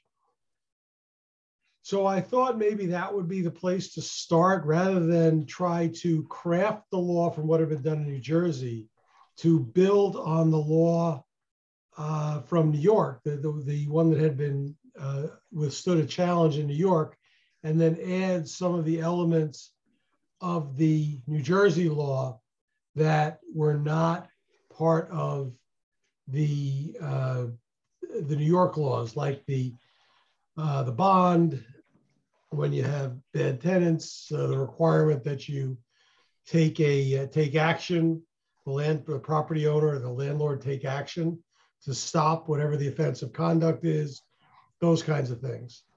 Uh, and so that's why I put it together this way, rather than head down a road you didn't want me to head down. Um, uh, bring it up for discussion this way. Anybody have any comments on that? Um, can you sort of outline what the differences were in, you know, the substances that's different? Well, the um, the two ideas that were in the New Jersey law that um, the New York law didn't have was one the the uh, specific landlord and tenant responsibilities. I didn't see that in this, the New York laws. And secondly, the bond where there has been an offensive conduct, repeated offensive conduct by the property. Those two concepts are not in the Southampton or uh, other New York laws. The New York laws are basically rental registration laws. Um, and they go into a number of, they go into a lot of detail about how the program would work that the New Jersey law does not. It's not as detailed about that. There are a couple of things that may or may not be of interest to you in the New York law, or at least in the Southampton law, one of which was duration, minimum duration of rentals. I don't know if you care. Uh, this was done before the concept of Airbnb. Um, so I'm not sure how you want to approach that. Um, but the uh, New, the uh, New York laws go into a whole lot of standards about how to define uh, property that is being used legally as a uh, dwelling unit for a family, that sort what is very complicated body of law on that. This one establishes indicia of what constitutes uh, multifamily occupancy of what should be a one family dwelling unit. Um, to my eye, it looks like it, it captures the complexity of the law on this subject. You know, used to be, um, you know, there was a time 30 years ago or so when uh, the laws you routinely said that a single family dwelling had to be uh, used by one or more persons related by blood or marriage. And that definition went out the window in a case out of Long Island. I think it was called Village of Belle Terre against Boraas 30, 35 years ago. And um, since then, laws have tended to talk about living as the functional equivalent of a family, which is an amorphous concept. This puts some meat on those bones. Um, it also deals with a lot of the uh, timing issues that I was struggling with, to be honest, on the New Jersey law. Terms of permit, you have to you have to get a permit before you rent. Can you rent before you get a permit? You have to register before you rent, or can you rent and then register? And if you register in the middle of the year, is your permit good for the rest of the year, or is it good just till December? Or does it go for a two-year period from when you register? Those sorts of things. And this was a I thought rather than my just come up with it on my own, this was a thought through system that's had some, that's been tested over years. So that's why I suggested this. And uh, I, I saw Jerry there. Is uh, he popped on and off? Uh, it, so you're you're comfortable you're comfortable with this with the way it's structured, the, the way you've given it to us. So obviously you gave it to us. Uh, uh, Jerry, uh, any any feeling on it? Um, Lou, we have a um, we have a committee put together, an ad hoc committee put together, and what I could do is um, uh, I could discuss it with them, so to give some time to go over the Southampton and the um, what was the other one, Bob Patterson. Patterson. Correct. Um, we can go over that and discuss it. We've been holding off on having another meeting until the board of trustees was presented with something from uh, from Bob. Um, but in my opinion, um, having created that that New Jersey um, structure, we really the only thing I wanted to focus on as an elected official was to um, eliminate the hazards of over occupancy and landlords that um, are not um, fixing up their their properties, um, not having the proper electrical outlets near the water uh, like in the bathroom or, or sink, uh, making sure that smoke detectors and carbon monoxide detectors are in the properties, make sure the handrails. It's basically, we used it as an annual CO to make sure that the people who are renting the property were safe and that they weren't being abused by their landlord in any way. In the rental registration, there's 5,500 rooftops in uh, where I used to work there's 1,800 rental properties, rental units. And so there's a lot of work. And what we did with the permit process was it didn't matter when we renewed their, their permit, um, it would just every week it would trigger off a, a new series of uh, uh, renewals. So it didn't matter when someone registered. Um, a year later, we would no notify them and go re-inspect the property to make sure everything was uh, above board. In fact, my property, because it's a rental property in New Jersey, is inspected annually. And they just make sure that everything's working properly. It takes 10 minutes for a, a three bedroom, two and a half bath house to make sure that everything looks uh, uh, uh, and seems like it's in working order. And this is um, revenue neutral? Uh, did the, uh, the fees cover the, the no, uh-uh, no. Make money on it. Okay. Well, I like that. Revenue positive. Everything I try to present is revenue Mhm. positive. But I mean, how many staff members would it require? They have one 30-hour employee. He does 1,800 rental units a year. Right. But so for us, that we have more than that, right? We probably have, I don't think double, Nora, but we probably have uh, one and a half. So maybe uh, 2,500 or so uh, rental units. So we'll need a full-time employee to do that. So just so you're aware, the law in New York may be different than the law in New Jersey on this subject. Um, in New York, you can't require an, an inspection as a condition of registration. I don't know what the situation is in New Jersey. Uh, the only way you can do, there are only two ways you can, you can inspect the interior. And as I mentioned in my memo, this may have been the distinction that the building department was operating under when it said that they only inspect the common areas. You can always inspect areas that are open to the public within a building. But when you get to private areas like apartments, you can only inspect either with the consent of the occupant or with a search warrant. And we had, A search warrant, you have to have probable cause. we established the consent of the occupant and the landlord. We would go through the property. They would be scheduled appointments. And this So- individual would have scheduled appointments and both the landlord and the tenant would go through the property and make sure. um, So What these, these are, I don't understand, these are not, the- these are not, uh, I mean, are the, are the inspections required or not? If they're required, uh, how can they be option? I don't know, I mean, uh, Well, there's a, there's a Fourth Amendment interest here. Private Fourth Amendment, uh, right to be free of unreasonable searches and seizures. mhm. uh, element to this. And so they, they can't be required as part, as a condition of getting a permit to rent. So we could do, we could en- enact this law and not be in any different situation than we're in now. Right, although Jerry is saying that people did consent, so maybe, They did. you know. because they would wanted consent. They used it as a they used it as a, a um, as a tool to demonstrate to the tenant that the property has been inspected and it's in good shape. I use it i use it in my case as well. My tenant wants to know how the inspection in fact i think bob if you saw that the laws require that i have to give my tenant a copy of the approval certif- or this the certificate so that they have it. Uh, they can't just send it to me because i'm paying the bill.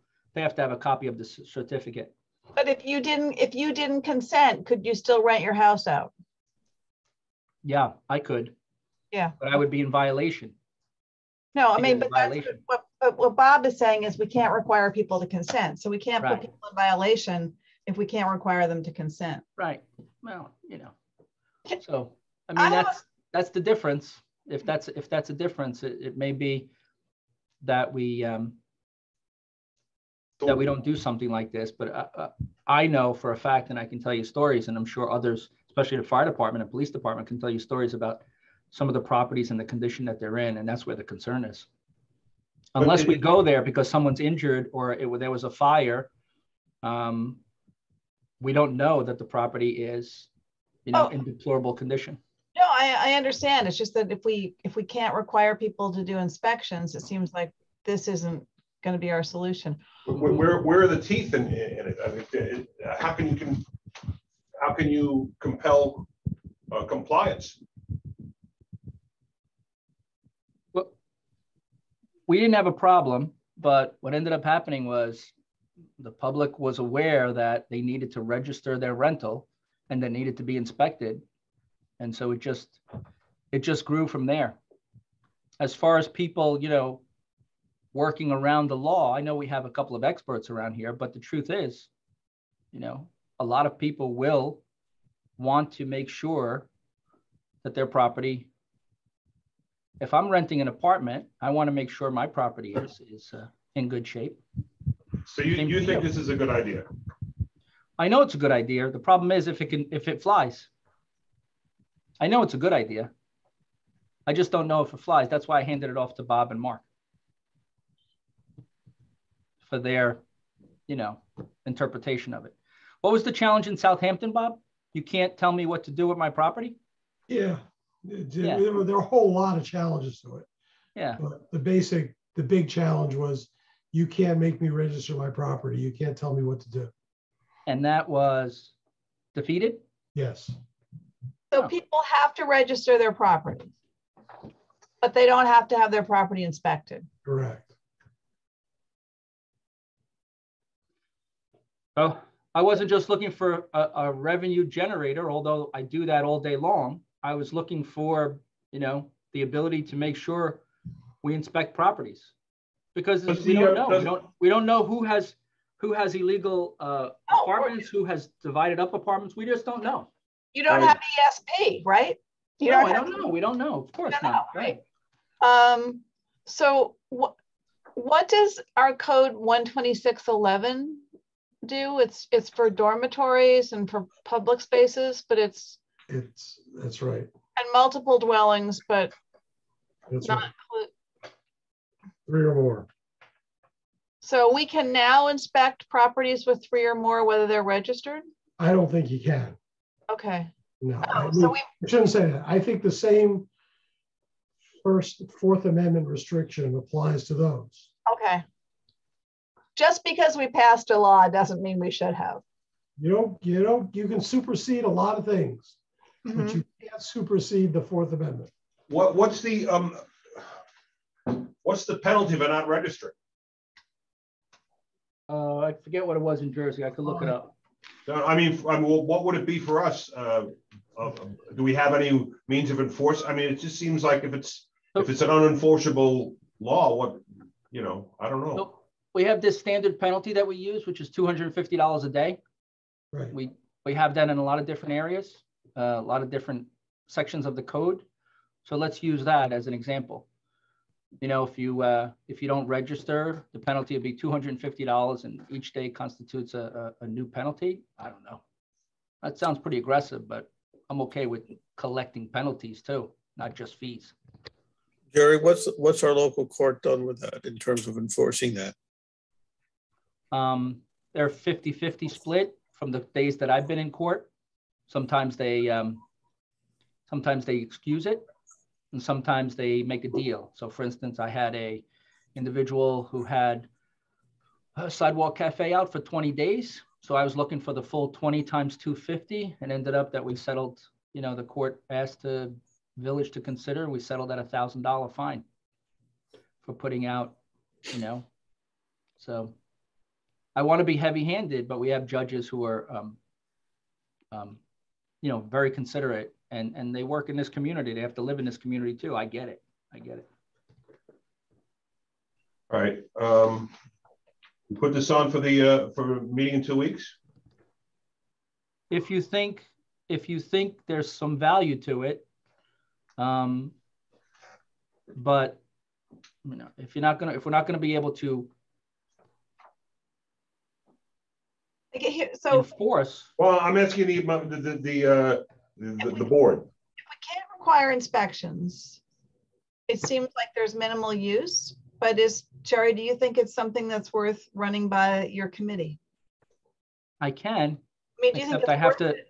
I have to be, I have to be honest with them and tell them, look, you know, this is what we have. I mean, I wouldn't want to get rid of it uh, because uh, uh, I think we could make, I think we could do some good things with the fees that we collect. But you know, the reality is, if we can't get into properties to make sure people are safe, that's really the objective that I want to, I want to achieve. So I'll talk to them. We'll, we'll call, I'll call a meeting together if you guys want me to. You know, I recommend we, we pull it off the agenda, let the committee meet and then um, put it back on and, and see uh, if they want us to put it back on. If not, then it was just an idea. Dan, Victor, what do you think?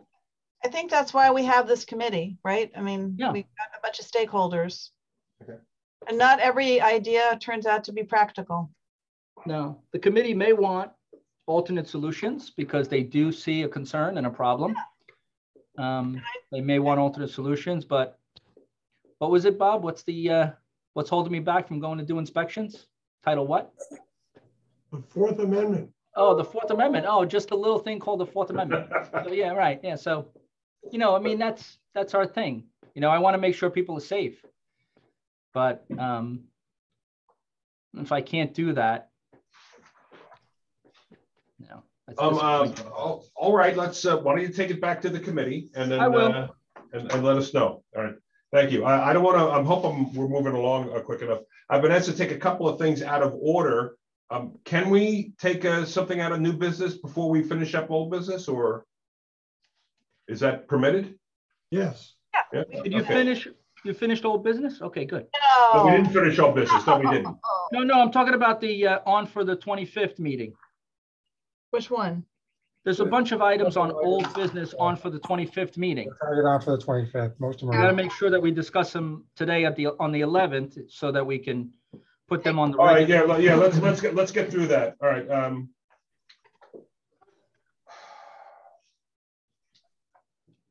Let's skip down to um, J, uh, referral to planning board wireless edge application for recertification of special use permit, Fenimore Road Cell Tower. Dan, 30 seconds, Dan. No more than that. Uh, The, uh, the owner or the operator of the site, you knew their permit. Uh, technically, the code says the, uh, uh, responsible board approves it. And that would be the village court, or it's village property, but the planning board typically handles applications of this type. They just did one for a site at sixteen hundred also, uh, sixteen hundred Harrison Avenue. So I'm recommending that the board refer this to them, let them do the, uh, review and make a recommendation back to the village board.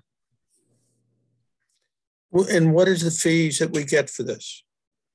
Uh, I, I can get that back to you tomorrow. I don't have the fees and charges schedule. Are you talking about the fees that we get annually for the, uh, the site? No, did- on this specific, there's a Renewal, request to, for a renewal, for renewal. for a I- specific, I- for I a don't have that specific tomorrow. part. Get that to you tomorrow, Dan. Yeah, I recall it was substantial, but, all right. um, Okay, uh, Well, the, the planning board meets this week and in two weeks. So if we don't refer it tonight, they wouldn't rev- do it for four weeks, Yeah, and, and I won't did, right? yeah, and I, I spoke to Kathy, uh, the chair of the planning board to say, this is, this came in. I'm gonna ask the board to refer it to you and her response was, we just did this for this place. We should know how to do it. So. Okay, all right. Carnival and So, uh. We'll put that on for the 25th then? Mhm. Okay, um, K, uh, Fireman's Carnival and Parade. yeah. What about that? Just dates. It's carnival, it's carnival dates and parade. It's just a standard. We do this every year. Oh, Maybe we- we didn't do it once during COVID, but I don't remember when COVID was already, so. uh, it's just an annual resolution. All right, Yes, on for 25th. got it. Yep. All right, let- let's, let's, Easy. okay, we'll- that's on for the 25th then. Um, our, uh, next is L, Arcadis' proposal to raise village-owned manhole in New York Thruway Authority Yard. Located. So we have a on- manhole, Lou, we have a manhole in the New York State, the New York Thruway Authority Yard located uh, on Mamaroneck Avenue, Yeah, right at the um, entrance between the, I'm sorry, the, yeah, the entrance and, and 95. The entrance to 95 and 95. Um, It needs to be raised because they're using it as a, um, a storage lot for soil. And there's um, infiltration of soil into our system. So it needs to be raised. Arcadis' proposal is to uh, do the engineering and make sure the project gets done properly. The Thruway Authority will pay for the construction. excellent. And, and, and we're talking about simply, you know, like a, like a tube around it, right? 32 foot increase. Okay, all right. But we're responsible for the engineering fees. They've asked us to, um, they've asked us to hire our engineer and pay for the engineering fees. Um, And that's the split that they um, discussed. I, I understand, I understand, but I, and I am in favor of our engineer making sure it's done right and coming up with the specs, et cetera. Uh, But I believe, you know, they're in violation of our local law by filling, you know, and you can't, and uh, that's also part in the floodplain. Uh, You know, so it's, there, there are issues on, on more than one of our laws. Uh, They should be paying for the whole thing. Oh, there's a 250 a day, Jerry.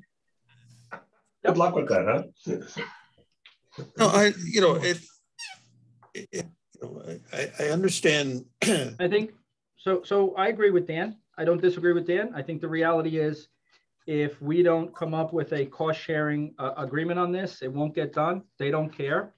And we do. And then I have to um, do it the hard way with the state and you know, I'm not going to get anywhere. So that's the problem. We know what the amount is? I'm, I'm, it's, or is there, is this the, it- are- I, we just have hourly rates. We don't have, Yeah.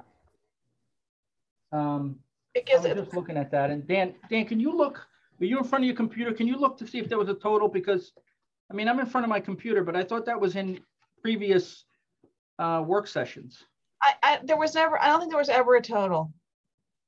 Yeah, I mean, I- so they, they say, they estimated about two weeks to do the work. Uh, let's see.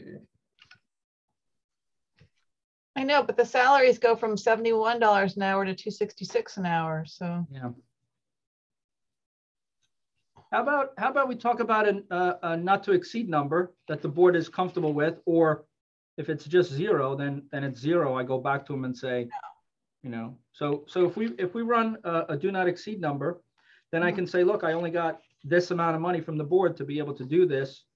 And then I can sit down with the, um, with the bosses, the foreman at the, uh, at the Thruway Authority and try to, uh, try to renegotiate. What's a good number? What- what- ju- What, if I may, um, how about uh, calculating what the cost would, uh, what the fines would be for violating our various laws? And saying, we're willing to waive all that, you just pay for the whole thing. Okay, I'll do that. Or failing that, let's give you some wiggle room. Let's take the median salary and multiply it by 80 hours. eighty hours, like one, one thirty-two by eighty. Yeah, I mean, uh, It come, it comes out to about 12 grand, right? Yep. Yep. I bet that's more than the fees. Than our fines. I don't know how many days, right? Depends on how many days. Well, I got, I got, I got to see when I was notified. I was Mm, notified when we were doing inspections of the, uh, we were doing inspections of the, uh, of the property. yeah, my, my general experience that the, you know, they'll have a staff engineer or a senior engineer do the majority of the, of the design work, and then the principal engineer will review it to make sure all the numbers add up and sign off on it. Yeah, but Nor, Nora's, Nora's calculation is, is probably Yeah. going to be spot on easily.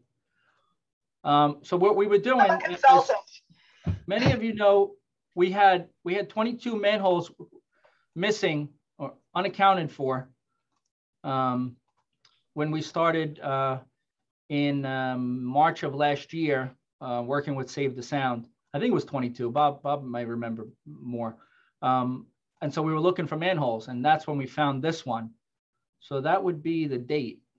Uh, and I could probably tell you uh, if I look up the sewer foremans. Missing manholes? I mean, Oh, yeah, unaccounted for. We couldn't find them, Lou.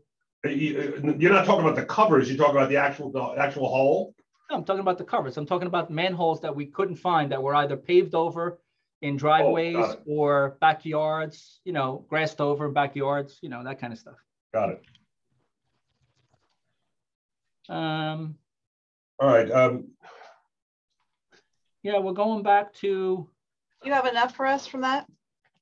yeah, we're going back to, um, let me see. We started looking for manholes March 2nd, 2021. all right. That's a pretty good find. So you, you, you, you you have enough to take care of this then, right, Jerry?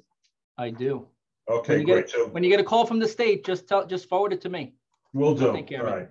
So we're moving on to new business now. Um, well, I want to uh, start with uh, Danielle's been here patiently waiting. Uh, we're going to take her out of order. Uh, 2H Employee Handbook. Uh, Okay, great. Thank sorry for the sorry for the wait. Yeah, no problem, no problem.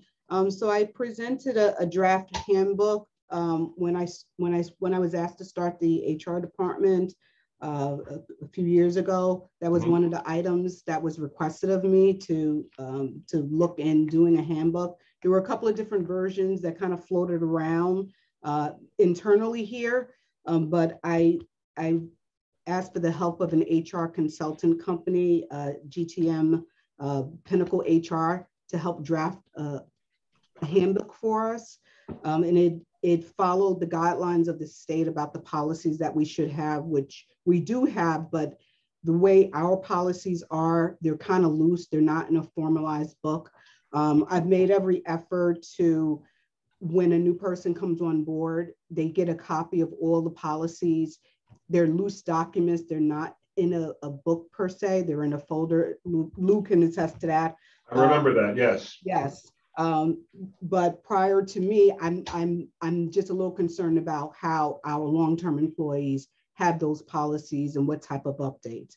So the the handbook would put everything in one place. There will be a quick reference so that, that if an employee does have a question, they would be able to refer to the table of contents to see if they can get the answers that they need. Um, nothing is really changing because we're following the things that are in this particular handbook, but it's just in a more formalized fashion. Um, and we're not changing the language. Um, the handbook, uh, there is some sign offs and acknowledgments that keeps the employee um, responsible for what they're being presented with. Um, I'm not sure what was done in the past, and this will hold people more accountable. And it does not take away from our current uh, collective bargaining agreement. This would just work in conjunction with that. So the handbook would just represent what everyone needs to follow, but there are references throughout the handbook saying if there's a particular item like a vacation time, uh, a person would need to refer to the their prospective collective bargaining agreement. Uh, we have right. two. We have two. Uh, we have two unions uh, that are in play right now, and we do have a number of non-union employees. Our non-union employees do follow the guidelines of one of the collective bargaining agreements, which is the CSEA. Um, so any non-represented person does get a copy of the CSEA agreement so that, that they can follow those guidelines. Um, this handbook has, has uh, about 14 sections, um, which also references general policies, which I distribute. It references training that I stay on top of. It references employment uh, policies uh, which is also important so they understand the difference between the different classes of employees. So it's just a quick reference versus um, coming to my office if they can get the answer uh, a little more readily with that. Um, it also references compensation and how that's done and paid time off. Um, so this document is really meant to, to cover and protect the village, uh, saying that we are in compliance with what we're supposed to communicate to our employees. And in turn, the employee is signing off on that they did receive this document. Um, so my goal is to, um, to have this distributed to all of our employees, whether via a hard copy or an electronic copy. Our new employees would have it moving forward and it's a document that can be updated by GTM when there's a new policy update, uh, which does happen frequently. They'll let us know, and then that can be um, converted into this the newer handbook so that it's, it's distributed properly. Um, Who's GTM? It's uh, it's it's a HR and payroll consultant company that we hired in December of last year, um, and the purpose of that company is that when I started the HR department, um, I everything was kind of in different locations in different departments. So I did my best to kind of uh, streamline everything. And I'm on top of all of the compliance items that we're supposed to have, whether it's OSHA or PESH or mandatory trainings or other like EEO uh, requirements that I'm supposed to do. But I do feel that there are other things that I might not be looking at you take for granted when you work in HR your whole career, you take for granted the items that every HR department has. When you have to start a new department from scratch, you're not quite sure what you might be missing. So GTM is helping me uh, bridge that gap to make sure that I, I, am compliant with everything that I'm doing, including putting in uh, new processes and new policies uh, to help kind of streamline things for the whole village, honestly. Thank you. What do, uh, what do we need to do with this now? Um, I mean, I did distribute, it was kind of posted. I just wanted everyone just to have an idea of, mm-hmm. of what I wanted to do because it was something that was asked of me that they wanted a handbook. So mm-hmm. I wanted everyone to see what this consultant company was able to come up with. it, it is a lot of information, um, but I'd rather inundate people with information so it's there uh, and it's at their disposal. Um, and I guess I kind of turn it over to Dan or Jerry as to if this is something that the board has to approve or not. Jerry, are you happy with this? I am. It's a policy. That's why it's in front of the board. All right. So we, I mean, we, because we have to adopt it as a policy. If it's gonna be effective, we have to adopt it as a policy. I, I mean, I think it's, you know, a no brainer, right? Yeah. Yeah. All right, all in favor of adopting a uh, employee handbook to be disseminated to all new employees? I move. I second, as long as we don't, do we have to say specific draft or can we just say this handbook? Because it's going to get revised. Uh, What I think would be better if we can is that we, you know, the board adopts the policy that we have an employee handbook that is distributed to everybody, uh, all employees, and that they uh, acknowledge receipt. All right, so I, I move that uh, we adopt a policy of, the- of there being an employee handbook that is given to every new employee. Are you, are you moving this to be adopted or to move to the regular meeting agenda? Oh, you're right. Um, I Uh, It's on, it's, it's on for next week. I think what we did is ask for a resolution as a policy, uh, as a broad policy, as opposed to this specific handbook. That way Danielle can amend it and doesn't have to come back to us. All right. So we vote on it here now? Can we, can we do No, that? d- d- we just refer to the, uh, to Bob to draft or to Dan to draft a resolution to that effect Okay, for the next, for the next meeting. all right. I'm glad everybody's keeping an eye on me. I appreciate it. And Danielle, will you post this online or is it just internal? Um, I would prefer it to be on in internal because we don't have an intranet. Um, where Okay. it would just be to the employees. We only have the, the internet and, you know. Okay. Thank you. All right, the other um, item that we're taking out of order is replacement of the street sweeper. And we have James Barney standing by. Do we have Chief Barney? Yeah, I am here. There he is. Oh, Yeah, we can hear you. there you go. Now we can see you. Sorry about that. Um, we're, uh, we're requesting that we can, um, add the street sweeper uh, to the, to the agenda. Um, we, we were supposed to replace it, I believe, uh, next, um, the next capital budget item if it was to be approved. Yep. Um, the street sweeper, as you know, is a pretty sensitive, uh, tool in this village. It's also a pretty sensitive subject. Um, but the the spare the, what we consider the the backup or spare street sweeper um, has it, its parts are are impossible to get.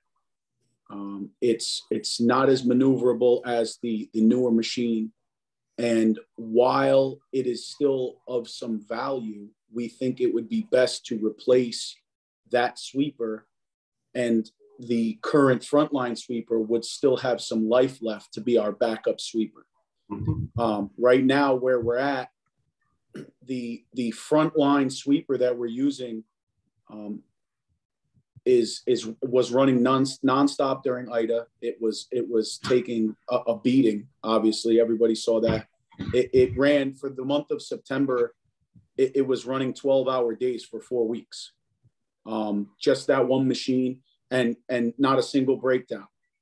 Um, and now we're seeing now we're seeing the effects of that. It's we've the sweeper season's been open for two weeks, and that that machine has actually been down, and we've been using the backup sweeper, and now we're reliving all those problems with the backup sweeper that we were, you know, blessed to not have to deal with.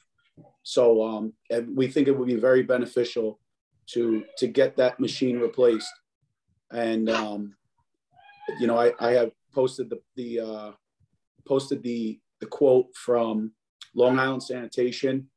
It is um, it is uh, on the Sourcewell contract, so multiple bids are not needed. Um, it's also the exact. It would be the new version of the machine that we're currently using, um, and the mechanics love working on it. It's a e- ease of ease of use while driving it, ease of use while repairing it. Um, we think it, we just, we, we think this is the right way to go.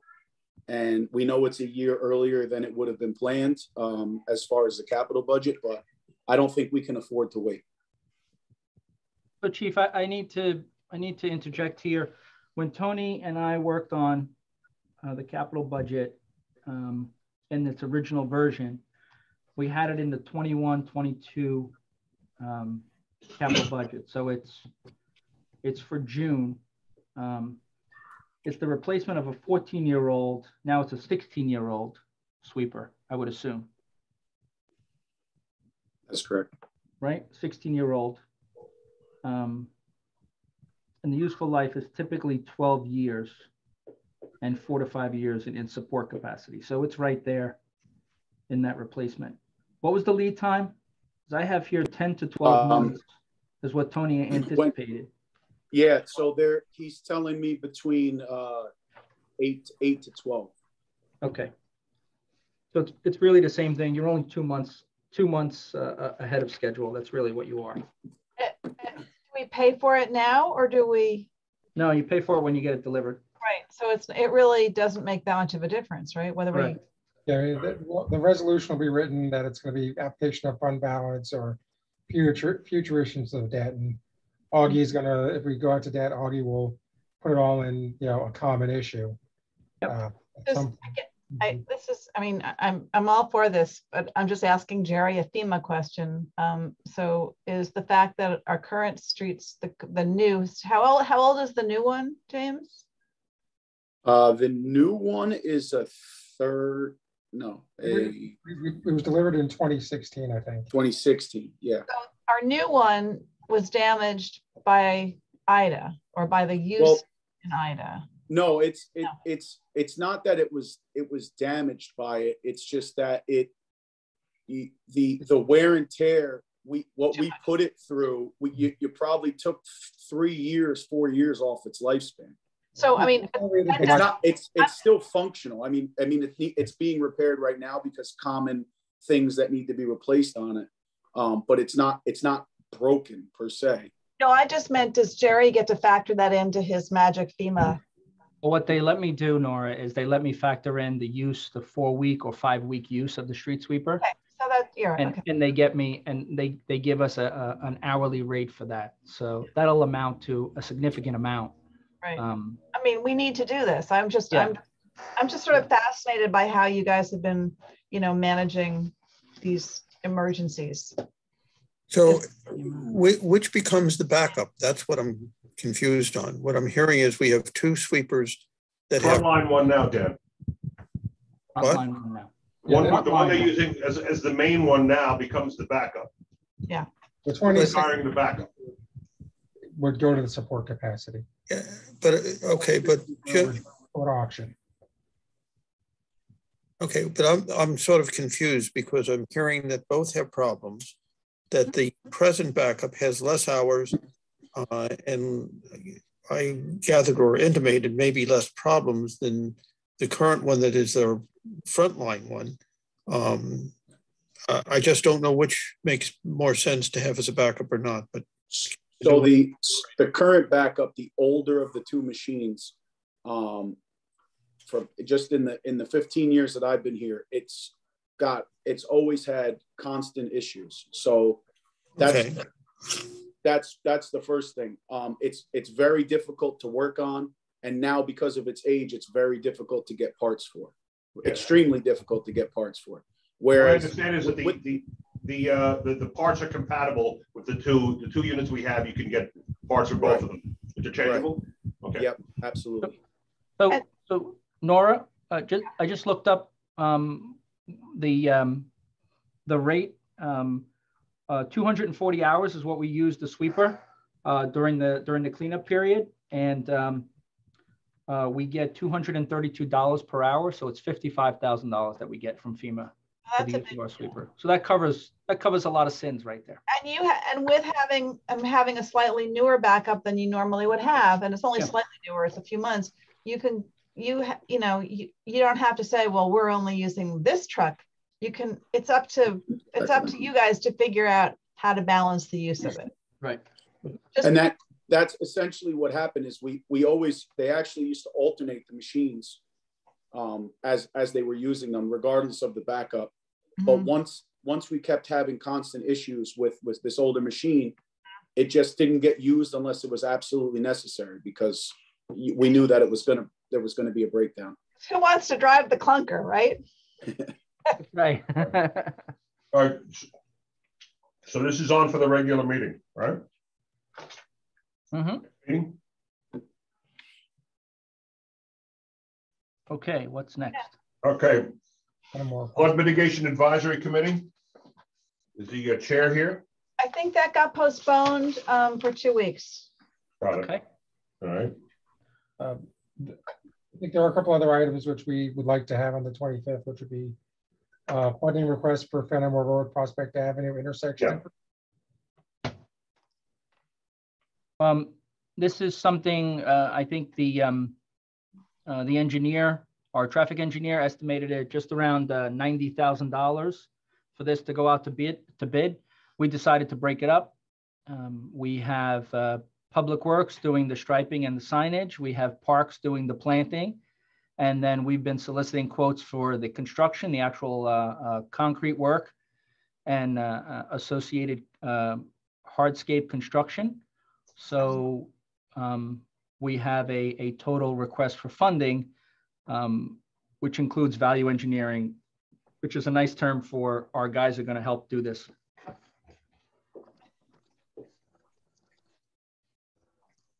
All right.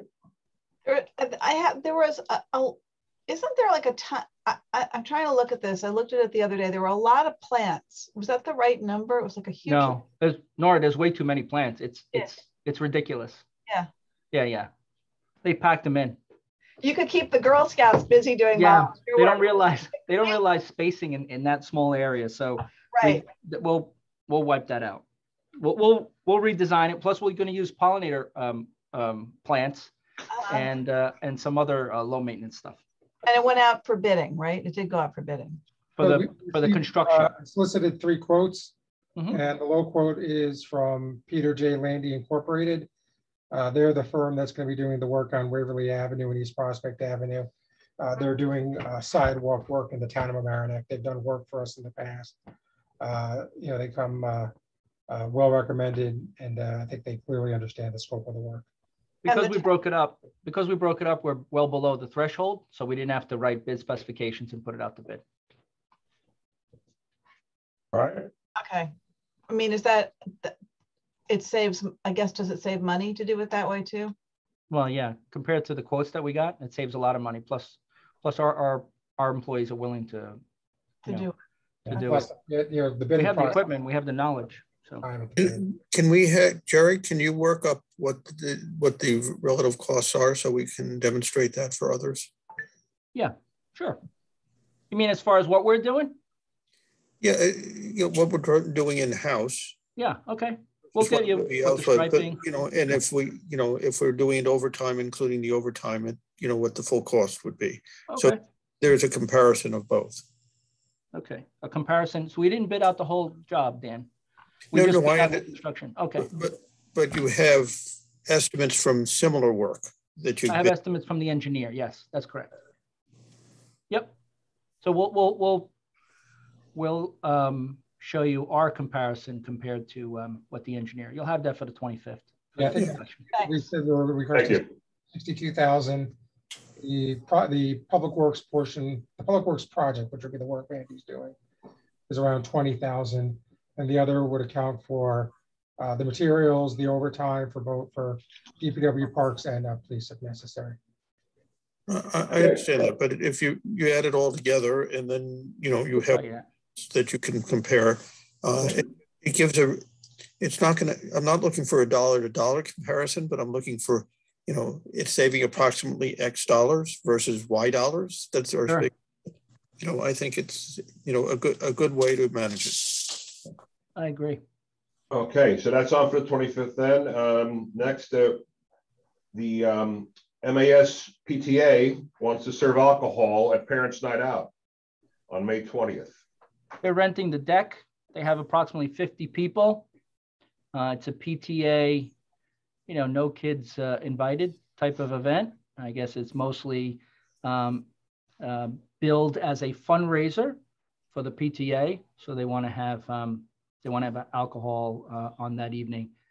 Um, it's May 20th, so it's off season. Um, we all know that uh, May is still, you know, guessing on what the weather is, but uh, that's what they're asking the board, and this is the process. And the, they, they ran it by the Parks and Rec Commissioner, Rec and Parks, and the. Rec and Parks thought it was a good idea. That- I guess there have been other um, fundraisers from both the school districts there with great success Mm-hmm. and good behavior. Yep. Any objections in it? All right, we'll put that, um, we don't, we did put that on for the regular meeting then, right? For the 25th. 25th, it. we just want to move it forward. Yep. Okay, all right. Uh, next, uh, installation of glass, steel and glass bulletproof door at the, um, rundown police department we have. Um, um, they want to, uh, they want a bulletproof door. Uh, The police department uh, received a grant to implement improved security improvements, which included the access control system and the uh, a bulletproof uh, door. Uh, And uh, the board previously authorized the purchase and installation of the access control system. There's about eighty-eight hundred, eighty-five hundred dollars left in that grant. The chief received quotes. Uh, I think the low quote was eighty-eight hundred dollars. So she's proposing to use the remainder of that and then a couple hundred dollars from the uh, contractual services line. And, and this is compatible with the, with the work we're doing over there? Yes. All right, Yeah. okay. Um, it's on for the twenty-fifth then. Any, any issues from anybody? No, Right. fine with me. Maybe, so, so I apologize for coming in late. I was in the city, but what did we talk, did we talk about old business N as in Nancy? No. No, we did not. Was No. there a presentation for this evening? No, they Okay. did, that was last week. That was two weeks ago. Well, no, Yeah, I think we're, we're, I think we still, we're asked to coordinate that with the. Yeah, Yeah. Yeah, we haven't, we haven't, we haven't, uh, that's not We haven't solid had yet, it. right then? We haven't had a discussion of that at the board, you know, at the So, board. Yeah, Oh, okay, okay. and there's nobody waiting to talk to us. No, talked- right. I mean, we talked a little bit about it two weeks ago with um, some CFTE members. hmm And should the NYSERDA presentation be at a regular board meeting or at a work session meeting? Yeah, it should be at a regular board meeting. Hold on. I would, think, yeah, regular board meeting. Let me see here. Ah, Dan, are we, Dan, we're meeting with Kat, Carroll Yeah, that's- sometime next week? Uh, talk about the uh, item uh, two J. No, I'm talking about item one N. Oh, yeah, that's, uh, I think we're trying to set something up. I, I don't, I, let me see if I can find it in my uh, calendar. My recollection was that we asked uh, staff to meet with them. Yep, we set it up. Let me get the date. Yeah. This Wednesday, 10 o'clock or 10:30. 10:30. 10 10:30 and it is this Wednesday. We're meeting with the Clean Energy Communities Coordinator, Kat Carroll, Yeah, that's- K-A-T. Yeah. So we'll have more on that next, next time. I'm sorry. I just wanted to All right. make sure we didn't skip, I didn't, I didn't miss something. So Uh, Go ahead, Graham. I think we finished the, what had to be on for, you know, that to be moved Right. for the 20, so you need to go back, I think, to the regular, you know, to the agenda items. Um, so the, uh, oh, yeah, here we go, the, um, expanded Florence Street stormwater investigation and study uh, to be held, that's to be held to April twenty, April twenty-fifth, never mind. Um, I think we're caught up here. No, we have to go back to um, one F. One Well, F. We have to go I go have back. info on one. Ah, F. right. Thank you, Nora. You're Welcome, that's okay. But we're Um, making progress. One F, transfer station roof project and solar panels at 310 and 313 Fayette Avenue. So I just, I just received um, late last week uh, information, I think Friday actually, um, from our um, engineer and uh, the uh, firm that we were um, working with on the transfer station. Um, they uh, do not have a price increase to design the transfer station roof with solar panels. So that'll be in the design. Um, they said that they would, um, they, they said that, um, so, so what I have to do for the board, um, when trustee Natchez asked is do a comparison of uh, the first time, I believe we received the quotes um, for the, uh, for the engineering and, and architectural work and this, this, and what the difference was. So I'll do that for the next meeting. I'll make And sure. this, um, and the power we generate here would go where? Um, right, what we, we would connect it to, we have to, we will either use it locally right in our buildings or connect it to a grid. Alrighty, I think that's Uh, great. that's, that's great news. All right. Are we caught up now, Nora? No, We gotta go, the next one is G. Gee, through gosh. Oh, social media policy, yes. So I, I put this on and it's been on for a while. And um, it- actually, the reason I put it on, it's sort of, I'm glad Danielle was here. Jerry and I, early in the pandemic, decided that we should have a, um, a handbook for board and commission members, which I've drafted a couple times and I've worked with Courtney on it. And what, and the last sticking point is the social media policy. Um, so we can explain to volunteer board and commission members how, you know, what the, what the social media policy is. And so basically, our village policy is we push stuff out. We don't take comments so that we don't have to worry about them being, you know, like public records and stuff. Um, and Now, yep. and I think that we have a policy that was adopted in 2015, which I really think should be revised. And I think we should have like a subcommittee of people doing it. This doesn't have to be on the agenda, you know, every week. We just need to sort of get it done. I think one of the things I'm concerned about in looking this up is that um, comments that we make on social media, if they relate to village business, can be construed to be, and this is a, a Bob question, um, could be construed to be like a public comment or a public record. And how do we maintain those things? If we're talking about, and even if it's on our own social media accounts, if we're talking about village business, is that something that has to get captured? So I think we have a very good system for how the village pushes stuff out, but I think we have to figure out how to be mindful and give guidance to our volunteers about what they can do. And so i included a couple of documents that I got. And the most useful one, I think, is, um, well, it's page 209 um, or eight of, of my PDF, but it's the one from New York State Office of Technology Services. And um, on page five of that, um, it gives some guidance um, about when you're speaking on behalf of the state, which obviously we're not, we're not working on behalf of the state, but also about how state employees should be mindful about um, what they're saying. And that's on page two of the next document, become public record. So I'm just putting that out there to think about. I don't have any answers. I, um, I'm gonna try to, I've tried to cobble something together that I'll send to Bob so we could just get the handbook out there even in the short term because people have been asking questions. But um, I think it's just something for us to think about and maybe we should have a, a couple of people who are thinking about it. Is- Now, is this, is this a social media policy you want to put in the handbook? Uh, well, you know, yeah, I mean, I think, well, there, we have a social media policy. We can just append that to the handbook and it talks about pushing out.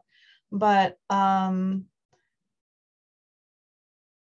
like there's a require, I mean, I think when, when the, vill- you know, that when the village is posting, it's a village employee who's posting, they know what the rules are. I always just want to make sure that all of the volunteers understand what what construes a, a public record. So I, you know, I don't want to hamstring anybody, but I also don't want, um, you know, we all know we shouldn't be posting stuff that's confidential. We shouldn't be posting stuff that's, you know, subject of a lawsuit.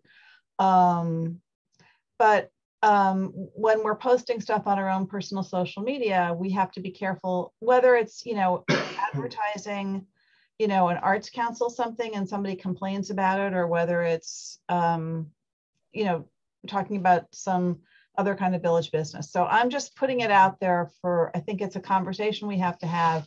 And I think uh, we should figure out who should be having that conversation to report back. Okay, uh, uh, let- let's, let's talk about it then. All right, I mean, not now, but So it's, so it's, it's on the National Cities, uh, National League of Cities. It's bottom of page two, top of page three. Uh, maybe all of page three. That's what you're talking about? Yep. That kind of stuff. Okay. So, and I just, you know, I think it's something we need to, you know, it's social media is something that everybody uses to some extent or another. And I just, I feel it's something that we need to be on top of. But you're okay, you're okay with, with what our PI, uh, Robert and I do because Oh, we- yeah.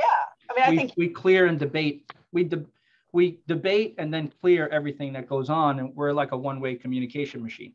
right. And I, and I think that's really the smart way of doing it. I mean, that's the safest way of doing it. But, um, but that doesn't include individuals. And I think we should probably update our 2015 social media policy at a minimum and put that in this little, this little book for volunteers. Booklet. are those the only two resources? It was um, New York State Info, uh, New York State um, IT, and uh, cities. Did Yep. does um, Albany have? Does the uh, uh, NYCOM have something? I know- got, I think I got these, this has been so long in the making. I think I got these from NYCOM. Okay. I'm pretty sure I got these from NYCOM. Okay. all right. Um, Tree law? Discounts for outdoor dining permits. Are we, do you want to go in order? Oh, do you want to go in order or Where, where were we? We were, uh, social media project, uh, eight? oh, the tree law. Yeah. All right, planning board comments on tree law. This should be really quick. And um, the planning board worked, um, the planning board had some comments about harmonizing the tree law with um, some planning board issues. And I think Beverly, did Bob, I mean, Bob, did Beverly go over this with you? No, she is not. Okay, so, so it's, I guess it's for, for then, oh, I'm sorry, I thought she did. So there's just, there were a couple of technical things that they came up with and gave to the tree committee. And then there was, um, and they, they seem to be like definitions and just comparison. So maybe Bob needs to look at this for next week. And then there was one other issue um, that I think Jerry knew, Jerry and Dan knew about last week or a few weeks ago. If a tree falls, that we didn't cover that. Like obviously it's not, you know, if a tree, if a tree falls down in a storm, it's not likely to be replanted, right, Jerry? Correct. I mean, we can't. So how, so how do we, re- we remove it or some, we, I mean, one removes their tree. Do they have to get a permit to remove it if it's fallen? Like what's that process? And so we just need to stick that in there. Uh-huh. Yeah. So, so it's a, it's a tree removal permit to remove the tree, but there wouldn't be a replacement requirement. There's a replacement required for any tree that's removed, Right. um, that's standing, of course, that's, you know, dead or dying or diseased or hit by lightning. But I don't think we would make that a requirement. I hope it's not that way. And if not, we can clear that up. But I hope I we don't make it a requirement. I think it just wasn't clear. I think it just wasn't clear. Yep. So okay. I think, and so Beverly, the tree committee's meeting in two weeks and they were gonna, they were gonna talk about it. They thought it wasn't clear. So I guess the question is, Bob, if you take a look at this and see if you agree. This will be version 20, this will be version 21. Seven, 22. 20. Yeah. 22 of the. This will start again, Nora. This will get a new letter. No. And, uh, Oh, no, no, no. Oh, well, we'll start, you have to start again, I a guess. New letter. Version It 21. would be an amendment. The, So, the one thing, uh, We're gonna get it right. It's gonna be one version and one version only. the, the one thing that I think would, would require some debate is the tree fund or bank.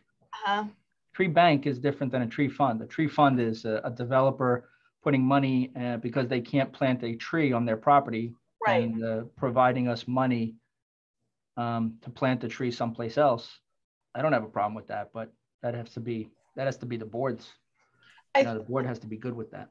And I think the planning board recommended it, be, be- it's not, that it's not up to, it isn't up to anybody but the planning board because um, I think they are in some situations where there have been a lot of trees removed and simply you couldn't plant the number that needed to be replanted. Yeah. So I think they're, they're, they wanted to be able to, you know, sort of leverage it into trees in, in other places. It, because if you can't accommodate, I don't know, replacement of 80 trees or whatever it is, you want to maybe make sure the village has those 80 trees to plant someplace else. Yeah, so Scarsdale did that according to what, to what's here, but the, uh, Yeah.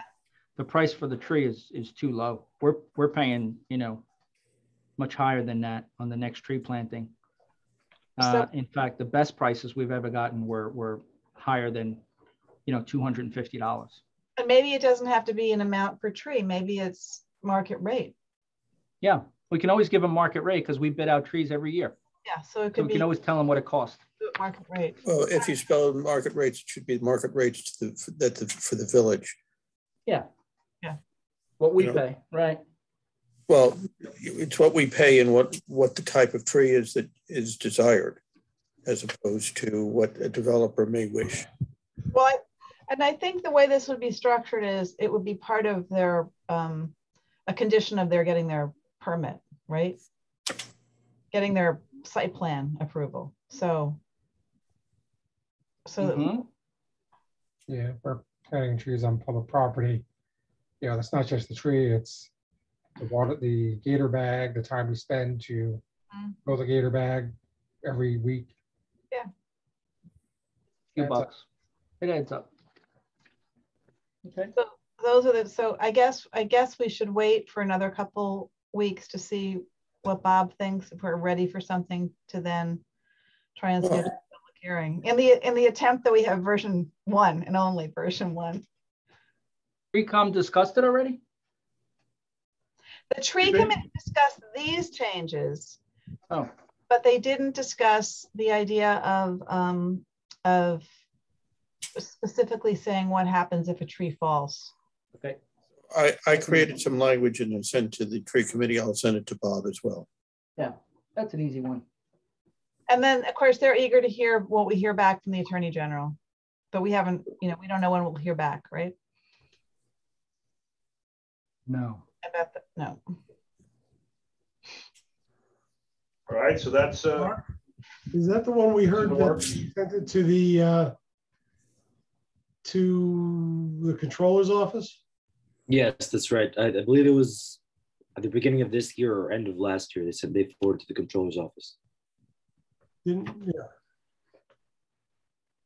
And didn't we include that in the agenda? Or was there something, my mistake? Was there something else that we just got recently? No, the the, mo- the most recent we re- one received was regarding the referenda. Oh, and yeah, that yeah, was forwarded to the BOE. Yeah, BOE right. But so we're still waiting for the controller to get back to us, right? Yeah, we're still waiting. We all are, right, so that's on hold. Um, Now, uh, discounts for outdoor dining permits using public parking. Um, What do we think about that? So I can tell you what we've done. Just where, where are, just where are we? One What F. num- One F. we have to go to I. I think, I think we have to go to I. Lou, Lou really wants to go to M, but I think we have to He go to really I. wants to go to M. He does. He keeps going, he wants to go to M. We gotta go to I. Uh, I can introduce I when you're ready. Okay, I, I got, okay, yeah, okay, so let's, uh, general uh, municipal law, civil service law. Okay, this is the this is what Shelley Mayer was talking about, the um, adjustment to the, um, uh, to the uh, uh, civil service law that would allow um, uh, our um, emergency medical volunteers to, uh, to get health insurance. Am I correct on that? I think it's employees. I don't know if it's volunteers. So, so I, I believe it's employees because volunteers doesn't go through the civil service process. Employees go through the civil service process. All right.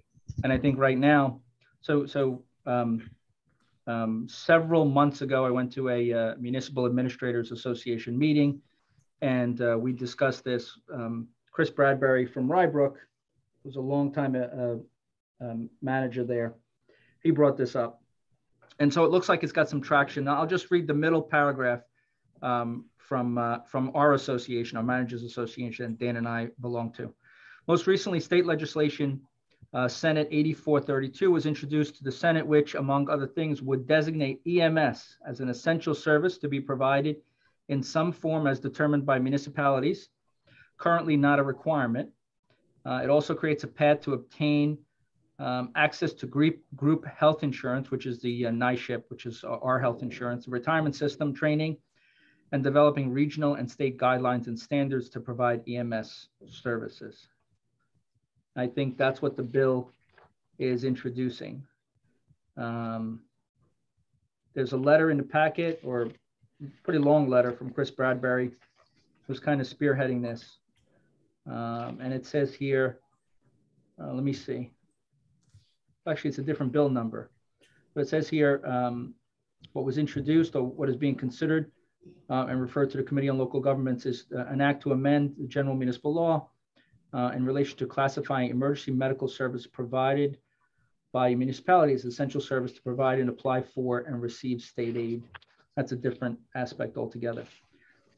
So basically, I think that's what they're looking for. They're looking for, and Mr. Sarnoff, you got to jump in if I'm a little off base, but I think they're looking for EMS um, to be employees like um, to have access to certain benefits, just like the employees of a municipality, uh, police, if they have a paid fire, you know, uh, emergency, emergency response, uh, emergency, you know, um, disaster personnel, those kinds of things. Yeah, that's basically, uh, basically deeming EMS as an emergency service. Well, and not as a volunteer service. I think that's the, the key. Well, so, some, in some communities that volunteer and some of that they're employees. Right, but, but what I think, I think, I, you know, I have a cousin who's been an EMT for 40 years and um, the, it's just, and they're in Massachusetts and there's just a real switch because they can't afford for people to do it on a volunteer basis anymore. It's, it needs to be, it needs to be professionalized. I mean, it is professionalized. It, it doesn't matter. It's like our fire department. It doesn't matter whether you're a volunteer or whether you're paid, you're still highly trained. And um, that everything is moving towards a paid system. And what's happening is there aren't enough EMTs because people don't get the kinds of benefits they need to do this. And We have a hybrid here where we have some volunteers and then we have paid. Yeah, that's the We also have a, um, a relationship, you know, operational relationship with the town uh, and Larchmont's uh, um, volunteer ambulance, I'm sorry, ambulance squad. So basically, we're uh, being asked to express our support for this state legislation. That's what the ask is. Legislation would allow members of volunteer fire and ambulance companies to be eligible for health benefits. So it does include volunteers. Yes, Yeah, that's what I. I didn't thought. think All it right. did. that's the amendment. And uh, that's similar to uh, the fire department, because volunteer firefighters are eligible for our health insurance. They have to pay the full cost, but they are Right. eligible to participate. So I, I, I think this is something we, we would support. So let's just uh, uh, put it on the uh, agenda in two weeks.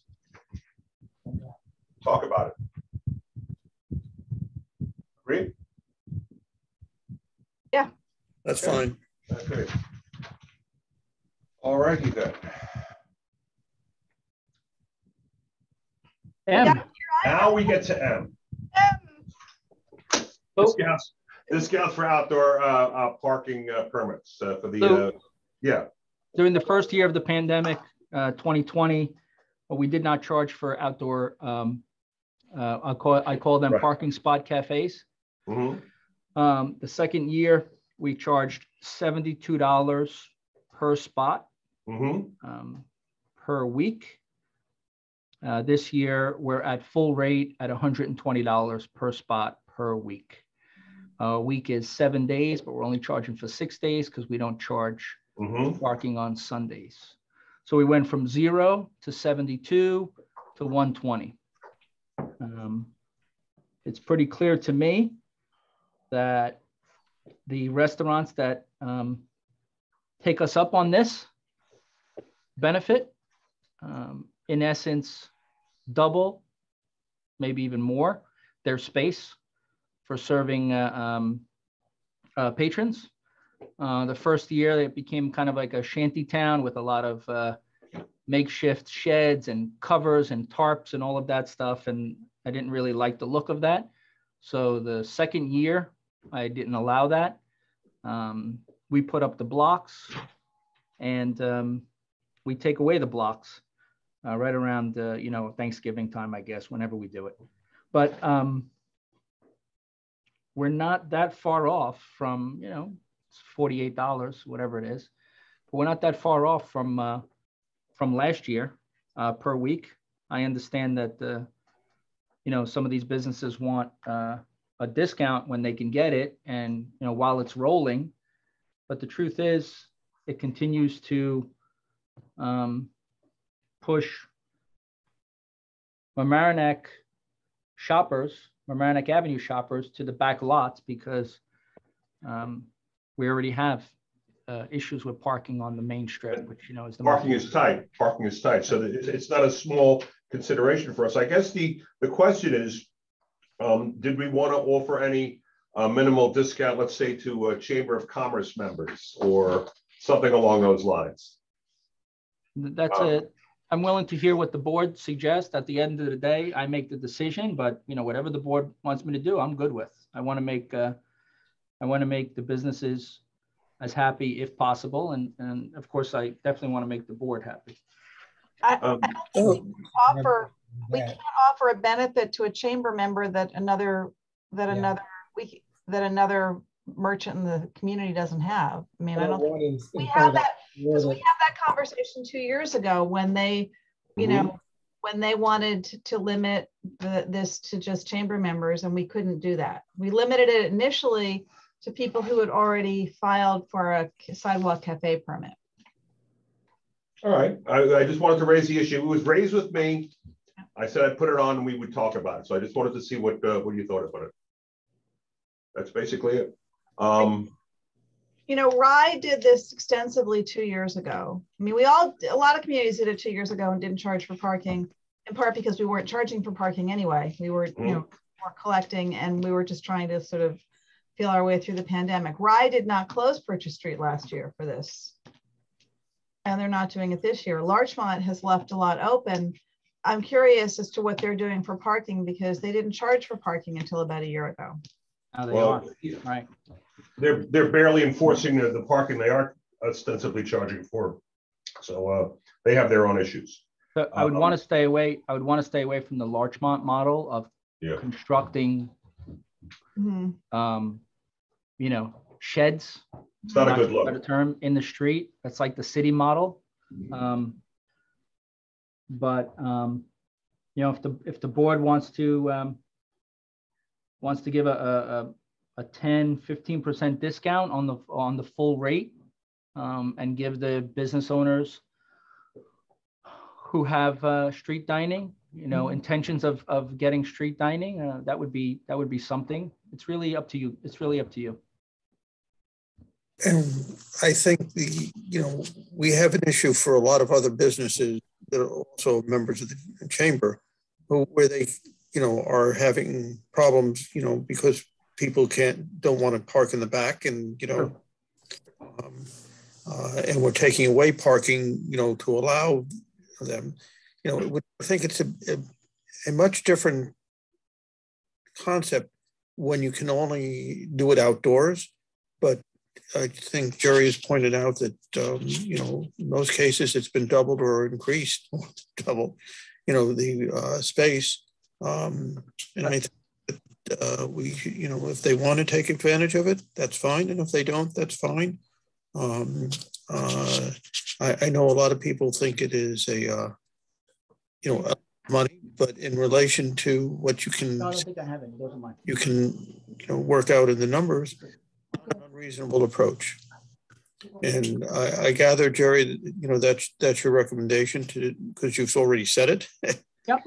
You know, I mean, And I, I- I'm willing to be a little I think- flexible, I think, I think we should, you know, go along with it. All right, I think uh, we're probably all agreed on that. I, I wanted, I, I, I said I would bring it up and uh, there it is and we've, we've Nora, what do you want to say? Nora? Sally has her hand up. Sorry, I didn't mean to interrupt. I just saw Sally's hand up. Oh, I'm sorry, who has their hand up? Sally, Oh, Sally, Sally, I had my hand up, Nora? yeah.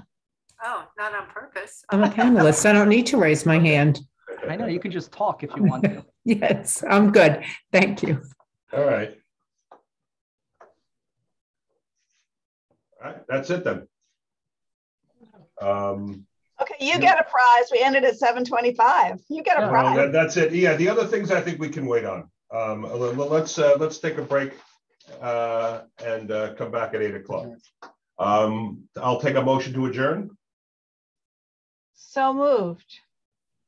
Second, All in favor? aye. Aye. See you in a little It's while. unanimous. There you go. We'll see you at eight o'clock. Well, it's, it's, okay, thank you. Okay. What was he saying?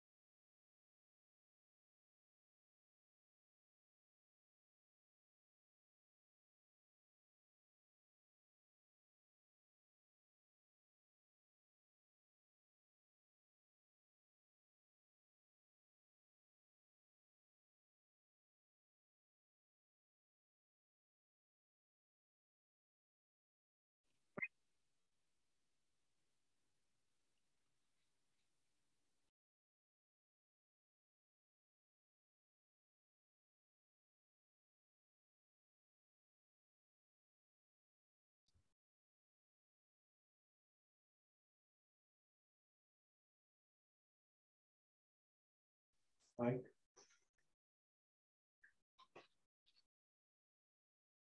I'll Wait for the recording. You don't have quorum.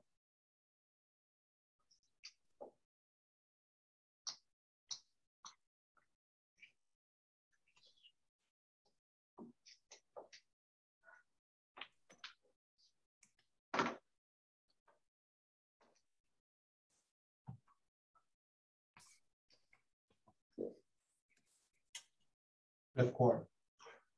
Uh, Dan's here. Okay, here we go. All right, ready to go? Open meeting. Good evening, everyone. This is the uh, regular meeting of the Village of Mamaroneck Board of Trustees. Mayor uh, Murphy and uh, trustee DeFour absent. Um, Begin by standing for the Pledge of Allegiance. Oh, wait, wait, we have to open the meeting first, right? Sorry. uh, A motion to open the meeting, please. So move. Okay, uh, s- second unanimous, since the meeting is open, staff the pledge of allegiance, please. I pledge allegiance to the flag of the United States of America and to the republic for which it stands, one nation, under God, indivisible, with liberty and justice for all. All right.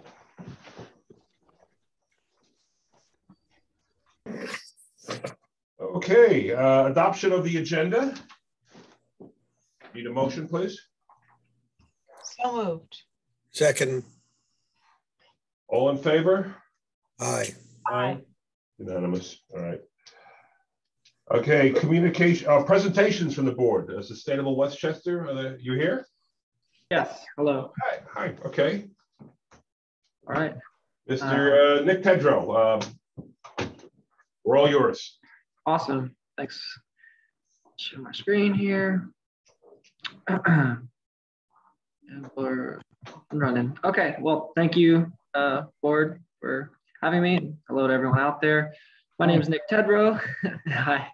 I'm the uh, program manager for Westchester Power uh, program here at Sustainable Westchester. Uh, going to talk you through sort of where we're at with the program and this contract that we're in that's currently winding down uh, and uh, discuss the steps forward, what we have planned. So um, just at a brief level, if, if, anyone out there is not familiar, Sustainable Westchester is a nonprofit consortium uh, in Westchester County. Our members are uh, 44 of the 45 municipalities in the county, um, and uh, a subset of those 29 that you can see here uh, participate in Westchester Power, with Yonkers joining this last month as the 29th municipality. Uh, our rough customer account um, total is up to roughly 147,000 residential and small businesses. so uh, in terms of what the program's done, um, we've had quite an impact in uh, promoting renewable energy and really accelerating the adoption of clean energy in the state. Uh, you can see impact-wise, uh, countywide throughout all the municipalities. We've mitigated roughly 1.1 million metric tons of CO2 from the atmosphere, and Mamaroneck's contribution to that is 59,000 roughly. So, in more tangible terms than metric tons of CO2, you can see what that's meant uh, in terms of cars taken off the road for a year and tree seedlings grown and planted and grown for 10. So, uh, definitely have had a huge impact reducing emissions um, and, and having a benefit to our communities here in the county. And we're hoping to continue that and grow, course. So, to date in terms of uh, how the contracts have performed uh, rate rate wise. Um, you can see this graph here is just the visual of since our inception, uh, which uh, Mamaroneck Village has been uh, with the program since the beginning. So, um, you know, valleys and mountains there, but consistently across, you can see our fixed rates um, have remained. Um, and certainly in these last January, you can see there towards the end, that big blue Con Edison bar spiking up in the middle. Um, that was um, a good time to have Westchester Power in terms of a, a, little cost cap and assurance on what we were going to pay that month. And in a month that was really tough for a lot of people, um, all of us really, with, with a spike across the board in Con Edison billing. So our current rates are uh, here at the top 100% renewable energy supply, 7.41 cents per kilowatt hour, and our standard supply, 6.75 cents per kilowatt hour, and these are fixed through the end of June. Um, this contract and these rates launched uh, January 1st, 2021. So we're at the end of that 18 month term here now in a couple months.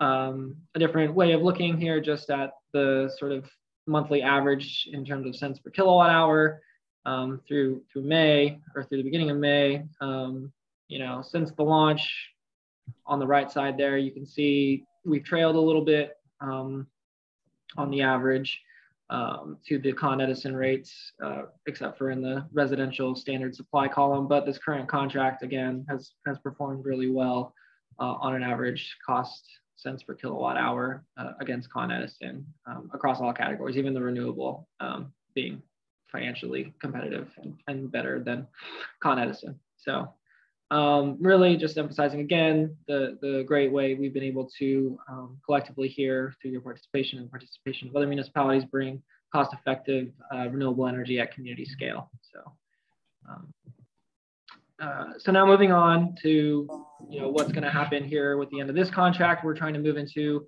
sort of a Westchester Power 2.0 phase where uh, we're able to expand our capacity for economic and environmental impact. So that'll be centered a lot around increasing our supplier pool so that we have more competition and therefore are getting better pricing and more competitive pricing uh, to go out to our customer, resident customers with.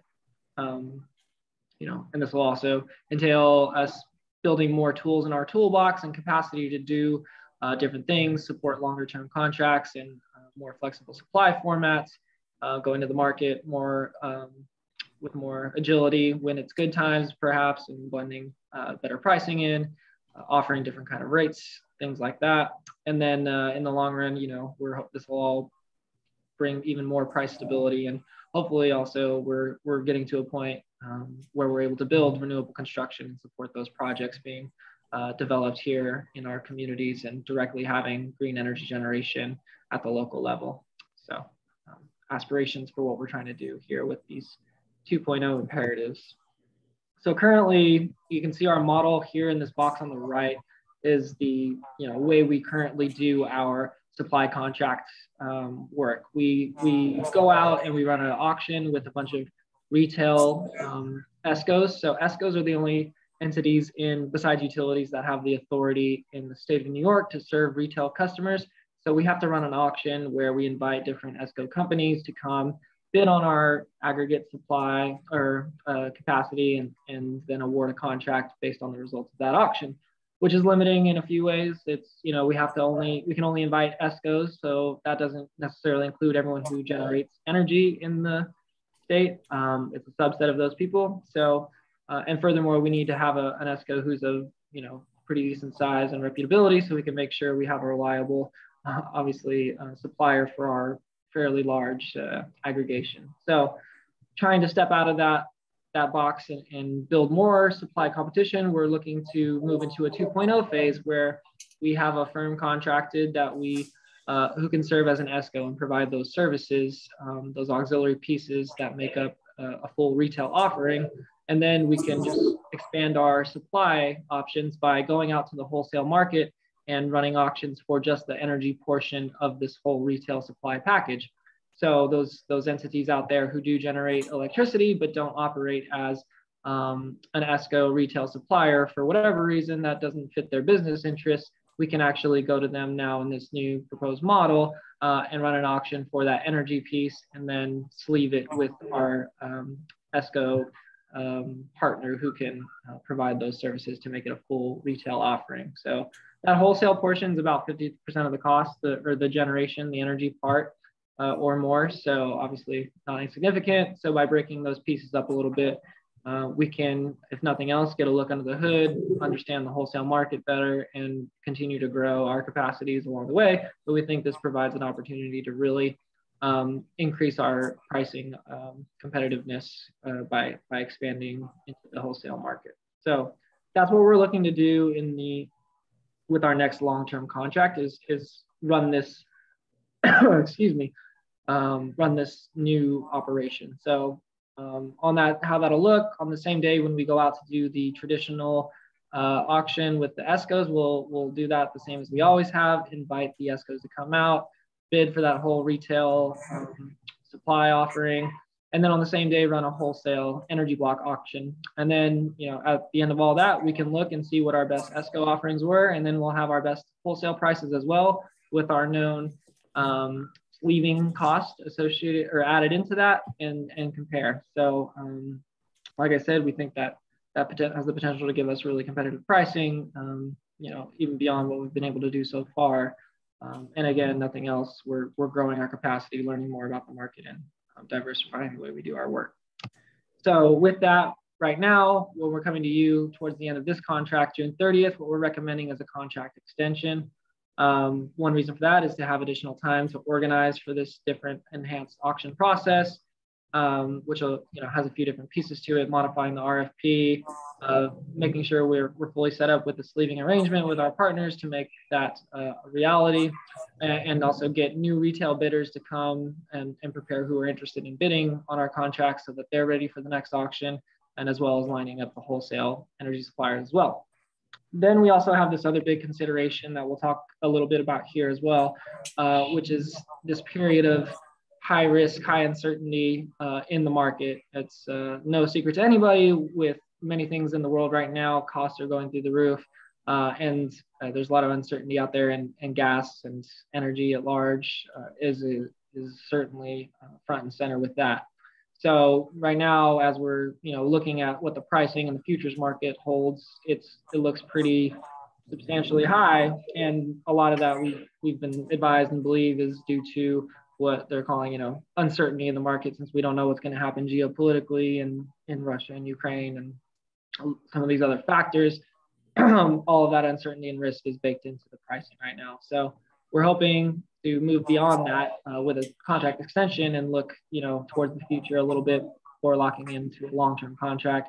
So we've gotten approval from DPS uh, up to six months for a contract extension. What we've been seeing right now is that five months looks like it's sort of the sweet spot so far in the indicatives we've received, which we'll look at here uh, for uh, an extension target. So, and then just noting, obviously we touched on what our rates are uh, a little bit before. Those are far below what the market rates are now. So we'll be contracting for an extension at a significantly higher rate uh, than what we're currently at for this June 30th.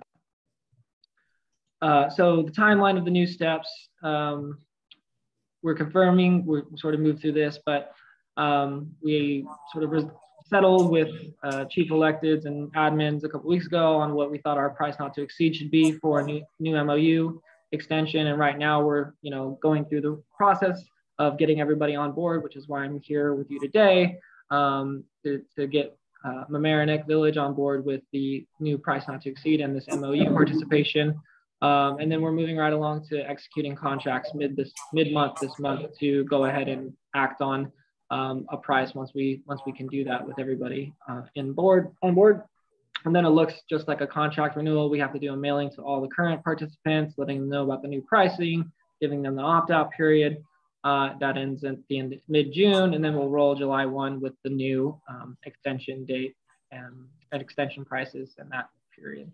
And then when we get to the end of that and we're preparing for the new enhanced auction version, we'll be, um, you know, doing that mid-August and uh, looking to lock into a longer term contract at that point. So um, my slideshow appears to be stuck. Sorry, I can't. One second. All right. Um, so just to give you know a little setup here before I sort of deliver what the new proposal we have for price not to exceed is, just touching on where the market's at a little bit more. Natural gas prices, as I said, are on the rise. Um, the futures have doubled um, since the time we last contracted for this aggregation back in the end of 2020-ish. Um, and so, as a, and as I also said before, energy constitutes about half of that full electricity retail price that we see when we get the final uh, rate, dollar cents per kilowatt hour. So, you know, looking at that alone, our current standard price of 6.7 cents from 2020 if we say a 50% increase um, to the to the gas price there, that brings up to roughly 10.05 just alone on that. Um, and then we have RECs and whatnot to consider for the renewable option. So uh, all signs currently point to these things continuing. You know, we're going to be continuing to see increased reliance on other uh, market sources from Europe, who has a huge demand from gas and has gotten gets a lot of their gas from Russia, um, and a lot of plans from the United States to increase its liquid natural gas exports to, to fulfill that, where they're willing to pay exorbitant prices compared to what U.S. consumers pay. So, a lot of a lot of pressures that don't seem to immediately be on the horizon of changing are going to continue to push these prices up. So similar with the REC and the renewable energy credit, um, current contract we're on right now, we, we settled at 0.6 for that REC price. Uh, the recent contracts are, that were executed for NYSEG territory and the Yonkers contract was up to 1.5 cents roughly. And now with current indicatives, we're seeing, you know, 1.7, 1.82 with the losses factor that they have to uh, generate um, for over purchasing. So it's it's all going up. This is all the picture. Things are going up, and a lot of the the REC pressure has been for a variety of reasons. Uh, you know, out, out of state purchasers swooping up RECs and then selling them for a markup markup in other states. Um, and so there's been some um, artificial manipulation there going on at the state level. Uh, price targets, again, this is just a snapshot of what we were current, what we were seeing very recently when we go to the New York State resource for purchasing or shopping for ESCO contracts, uh, similar renewable uh, fixed rate contracts. You can see it's, in the 13 cents range there. And uh, this is a, you know, traditionally what's been the most competitive renewable energy supplier recently. And we went into their actual website and started looking up an account or a contracts to try and get that really specific quote again, 13 something. So um, that's where the renewable energy prices are right now if you were to go out and try and find a contract with a private company. So I'm almost done, I promise. Um, these are the, the, way that our indicatives have been tracking um, since here. So these, these indicatives one and two represent a couple of suppliers and the pricing date when we get these quotes of what they're uh, pricing the energy um, at over time. So um, as we've gone on, it's slowly crept up. And again, five months is really where we've been focused now as the best price point. And um, when we've sort of resolved on a price not to exceed, we were looking at this 323 uh, price of 994 for a um, for the energy, and then looking at that 182 for the REC adder, which rolled up to roughly 1176 here down at the bottom. Um, so even since then, we've had an indicative of um, March 30th, and that price has ticked up again since then. So um, it, has been, you know, steadily creeping for some time now, um, if not jumping. So what we're proposing is a price not to exceed of 12 and a half cents. Uh, it, it tracks with what we've been seeing in, as the margin of movement over the weeks as we've tracked the indicatives from our suppliers, uh, from potential suppliers. Um, in this case, we're, we're looking to extend directly with Constellation, the current supplier, and what they've been giving us. Um, so planning with that in mind of planning for some growth, we're trying to set a ceiling that we think should be attainable for 12 and a half cents. Um, we've had some recent experience with these rapidly upward pricing movements in the fall or in the summer. There was a huge spike due to Ida and some other things going on that caused energy prices to go, you know, start really going up then which uh, got us caught us a little bit where we had MOUs executed with a price not to exceed with those NYSEG communities that ended up not being executable with a rapid rise in pricing that um, sort of outpaced our ability to sign a contract. So uh, obviously that was ended up being fairly disastrous and that, um, you know, we didn't have enough buffer and we were stuck where we didn't have enough timeline to reset targets and stay on the schedule with that contract renewal. And then um, uh, we we had a lot of challenges where we basically had to pause the program and send out letters to uh, residents that the program was pausing, and they were also getting utility switch letters saying, "Hey, you're going back into NYSEG," um, and and got that up, you know, and then they had to get an opt-out notice later on. So it was really just kind of a mess, and uh, obviously folks weren't unhappy about it. And with the timing of when it happened, uh, with all of this spiking in January, um, with the utilities, NYSEG was the same way uh, people, you know, obviously felt particularly abandoned with rates, you know, getting dropped from the program and then having all these rates hit them really high and hard uh, in that period. So it was really bad on many levels. So, you know, when we talk about what's at stake here of, of having to pause the program, um, you know, all the value features we talk about, having that rate cap, that insurance against those spikes, even, you know, for that one piece of the bill is really critical, important for a lot of folks. Um, and um, you know, having the ability for folks to change supply, that's a great thing as well. Uh, and just the stability really overall and the, the availability of this, you know, cost competitive renewable energy option um, that we offer to, to residents. So with that, that's the, the story of why we're here uh, to talk about an extension and hope that you'll support moving forward, uh, you know, with a resolution or whatever for a price not to exceed MOU of 12.5 cents per kilowatt hour um, so that we can sort of tide through these, these months and get to a point where we can uh, move forward with a new enhanced auction process that'll um, hopefully, and we feel will provide a lot of uh, great competition and, and ultimately a great price for a long-term contract at that point. Thank, thank you, Nick. Um, yeah, I'm a I'm a big fan of what you you folks do, and I believe it's probably one of many things that we need to do in tandem to um, break our fossil fuel habit uh, and uh, and uh, make our communities more resilient. So uh, I am um, I'm appreciative of the uh, of the uh, presentation and uh, and uh, thank you very much for coming in. We appreciate it. Okay, great. Yeah, if anyone has any questions about any of this, feel free to reach back out to us. Um, otherwise, yeah. Question. Lou, I have a question. So Nick, so what's our um, renewable price right now? If our renewable price, yeah, it's 7.41 cents per kilowatt hour. Right and we're anticipating going up to 12 and a half or just under 12 and a half.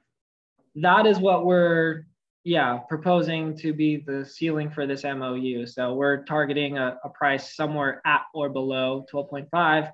Um, with the with some risk that you know it doesn't end up happening and we get stuck again and we have to hope the market kind of tides our way. Um, so, so am I at a line? Am I at a line by saying that it seems like our renewables just follow the trend of the market rate and not yeah, necessarily benefit us because we obviously know that renewables tell tell everyone where we're getting renewables from. Yeah so um, renewables in the new york in new york state renewables are uh, represented you know in and through our program through renewable energy credits. So um, we're without getting too much into the explaining what the REC market is basically we're um, buying up or our supplier on behalf of us is in order to represent this energy is buying up these credits on uh, on the market through NYSERDA through their tracking program. So these different generators of renewable energy generate this energy, and it all has goes into um, a repository where it has you know a tag to it, and um, each credit is represented as one megawatt hour of renewable energy generation. So when the supplier is getting us, you know, our renewable energy supply, they're buying up these credits in the amount requisite to represent the renewable energy that we're um, supplying for our program. So uh, with us, it's New York State Hydropower uh, RECs. So uh, when we lock in our contract, they go into the market and they are into into the market and they buy up enough RECs for uh, the energy, the representative energy for our um, our participants who are going to be on the renewable supply. The renewable energy is not cheaper. It's just that we get the credits. That's why the credits are, are, are brokered or bought and sold. And that's why we're getting the, the cheaper rate. Yeah, the well, so anyone who's, you know, most people who are a lot of a lot of folks are on there buying these credits. So businesses do it for their environmental compliance reasons, and a lot of folks buy these credits. So um, yeah, the the renewable energy you can think of it as sort of a premium that we broker for on the market, but the price for that is set, you know, um, by the state for those credits. Um, so well, the five month extension with Constellation is because we think the market, or you think the market's going to potentially get better, or not necessarily, because the long term numbers were even higher, but at least there's stability in the long term numbers. Yeah. So, you know, the thinking is that one, we do want to like I said, prepare for this new auction format. But two, we do think, you know, right now there is the possibility for, you know, things to change in the world and more stability to come into uh, play with, you know, whatever happens geopolitically. But, you know, we're not hurt by, you know, at this point trying to ride through the current market and anticipate or hope at least, maybe hope's the right word, that things do uh, relax and ease uh, in the market a bit in five months plus, uh, so that we can uh, be positioned and um, to, to, take advantage of lower rates and lower future market prices than uh, what's currently out there right now. Um, because there's a huge, just a huge uncertainty out there. You know, no market expert can tell you what's going to happen in the world or what's going to happen with futures right now. So it's a, you know, a pretty high risk move to lock into prices that are, you know, particularly exorbitant in the current time. Right. So, the, so, so in five months, in five months, you'll be back to us asking us to, or you'll give us projections regarding uh, the next auction platform that you guys uh, plan to participate in. Yeah, we'll have you know some market analysis, I'm sure, but you know we'll also be not talking in the strict terms of a contract extension, where okay. you know we'll be bringing again, a, we'll be opening it up to a full auction again and having multiple suppliers come you know competing against each other uh, through a competitive bid process, um, uh, which will you know bring more um, you know price competition to to the table and right. won't be as constricted as working through one particular supplier or negotiating that way. And you guys are not comfortable doing that now. You just want the extension to give yourself that 150 day buffer.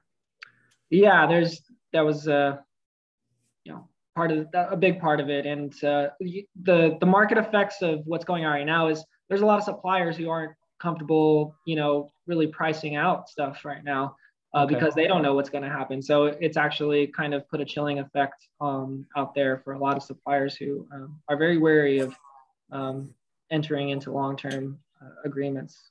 So, so it's mostly them and not us necessarily.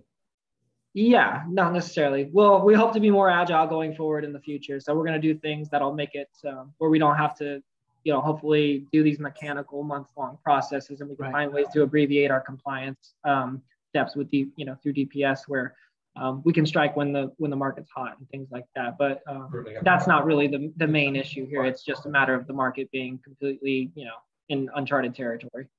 Okay, thanks. Yeah. Thank you very much. Yeah, no problem. Just one question: What do you need from us at the at this point?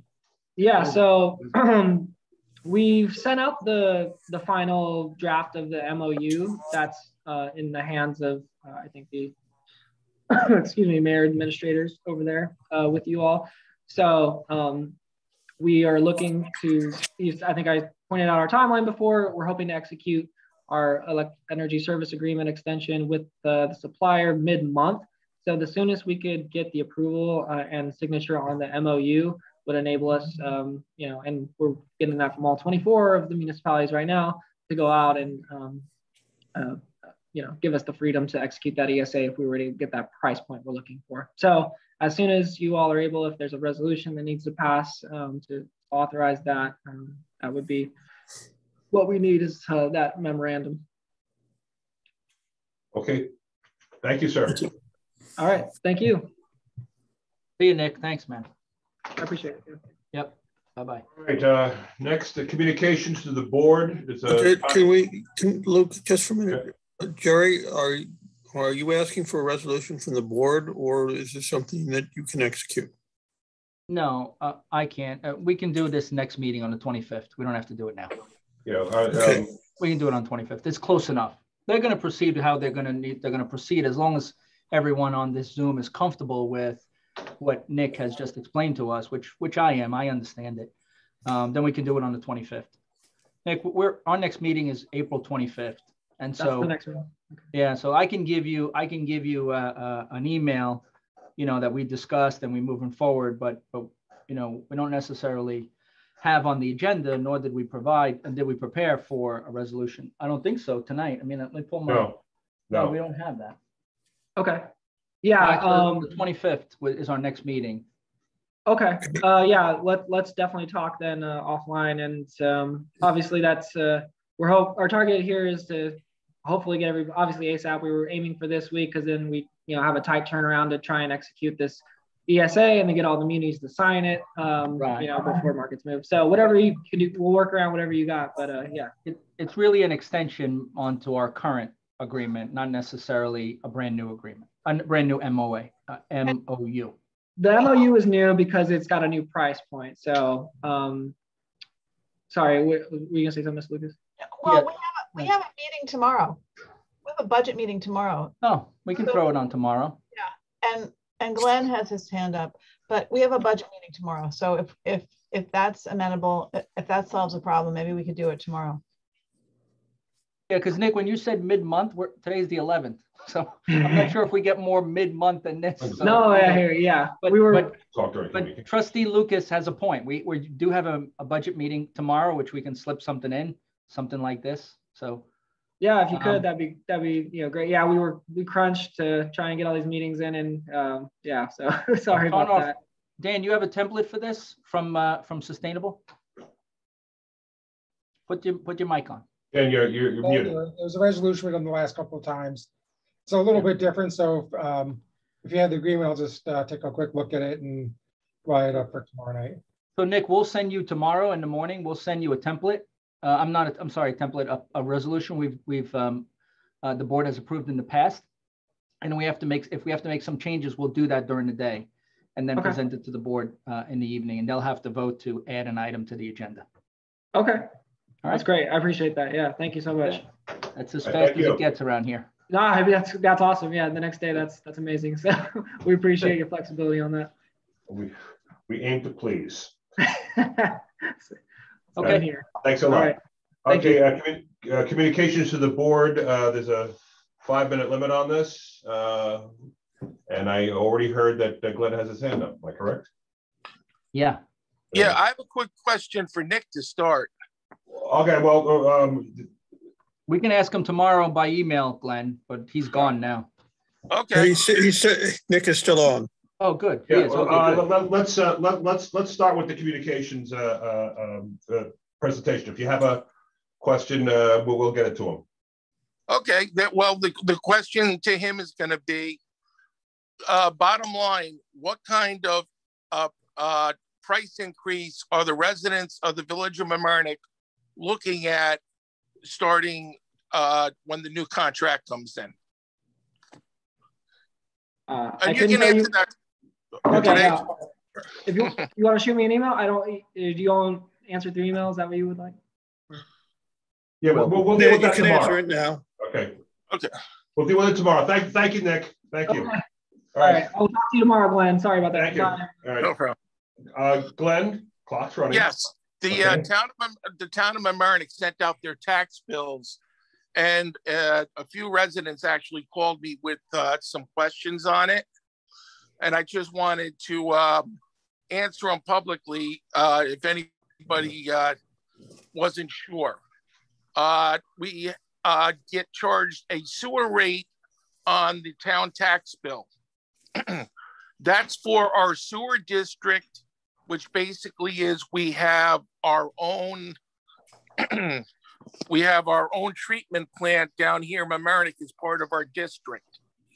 Our local bill is for our local sewer pipes. We have a refuge tax, which is Westchester County's recycling costs. And the third one is EMS. The town of Mamaroneck actually runs our EMS so two thirds of us pay a um, ambulance tax to uh, directly to the uh, town of Mamaroneck. Rye Neck, we uh, we pay uh, a fee either once or twice a year to cover those residents. So those were just the three que- uh, questions that I was asked.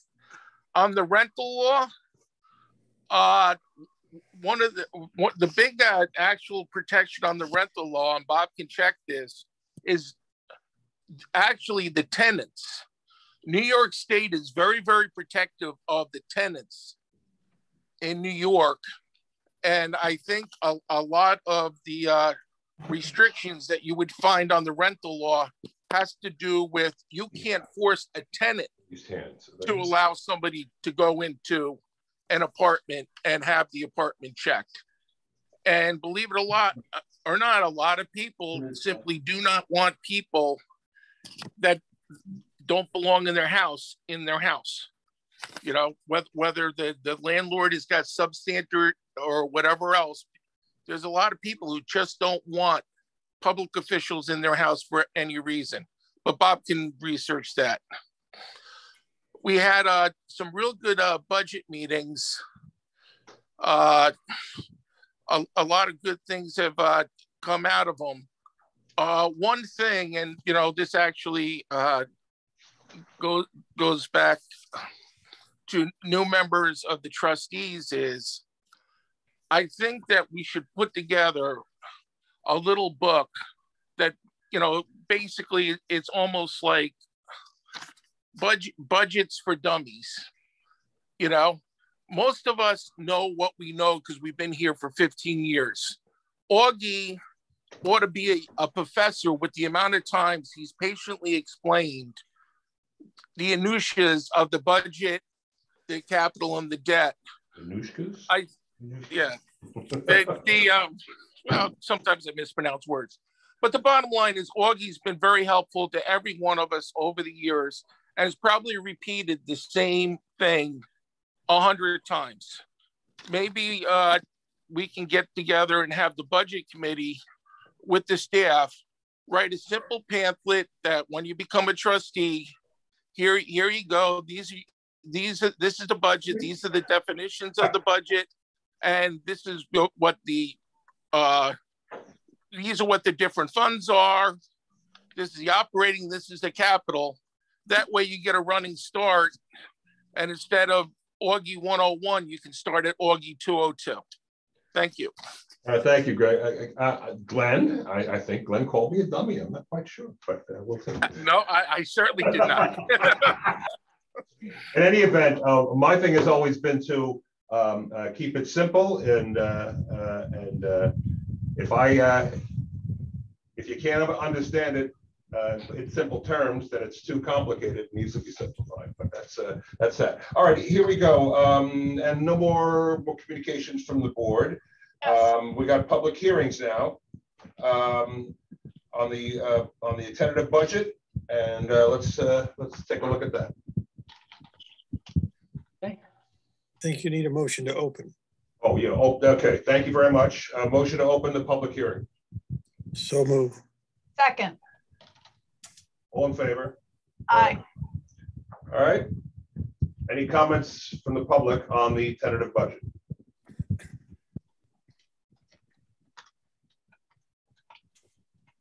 There's a hand up. There is? Where do you see? Glenn. Glenn again? All right. Welcome back, Glenn. Thank you. Uh, tentative budget. Uh, there had been a question about the uh, sales tax. The sales tax numbers are actually coming in very well. Uh, the January and February sales tax have come in uh, 15% and 16.5% uh, above last year, according, according to Westchester County.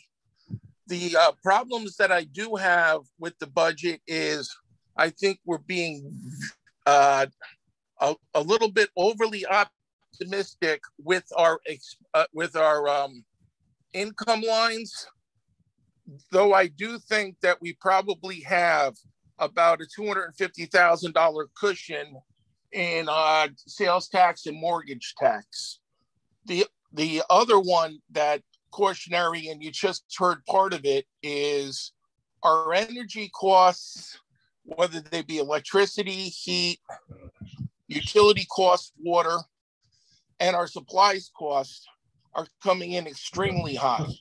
Every every every department head who has gone out and, and bought anything in the last three months, in, including Jerry when he bought the sand, including when we bought the, the timber, including uh, Rec and Park when they went out and they had to get seating and, and items like that.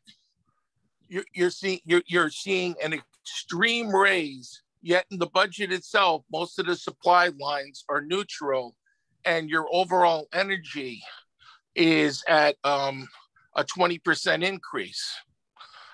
You could you could do the budget the way it is, but I would not do any new hiring on the budget in uh, for at least six months to, to see how it pans out and see how these new supply costs actually uh, affect your expense side. Thank you. Thank you, Glenn. We're okay. Any other comments? I can't see that. Okay, thank you. Other hands. All right. Um, I guess we uh, close the, the public hearing now? I think we need to adjourn it. Hold to four twenty-five. Hmm? Adjourn to four twenty-five. Okay, adjourn to um, 425. Yes. Um, So moved. So moved. Second. All in favor? Aye. Aye. All right, thank you. Okay, the next is a public hearing on uh, PLLB 2022 to exceed the tax cap. And that is the, um, the um, template, the de facto um, uh, uh, process that keeps our options open as we, as we proceed. So we can do it if we need to. Uh, Any uh, input? Um, I move to uh, open a public hearing. Any- Motion to open a public hearing? I'm against it, but I know the majority of the board is in favor Oh, of no, it. you- We need to open the hearing first. Let me finish, Lou. Thank you. I'm going to, I'll second it, on- but only because uh, two members of the board are not here and the majority of the board are in favor of it. I am not in favor of it. I have been consistently against it uh, this year, last year, and before. Um, But um, in the interest of being fair to everybody, I'm willing to second it. All right, it's just opening the public hearing. Uh, All in favor of of having a public hearing? Aye. Aye, okay, unanimous, all right. Uh, Any um, comments from the public about whether we should uh, go this route and leave this option open?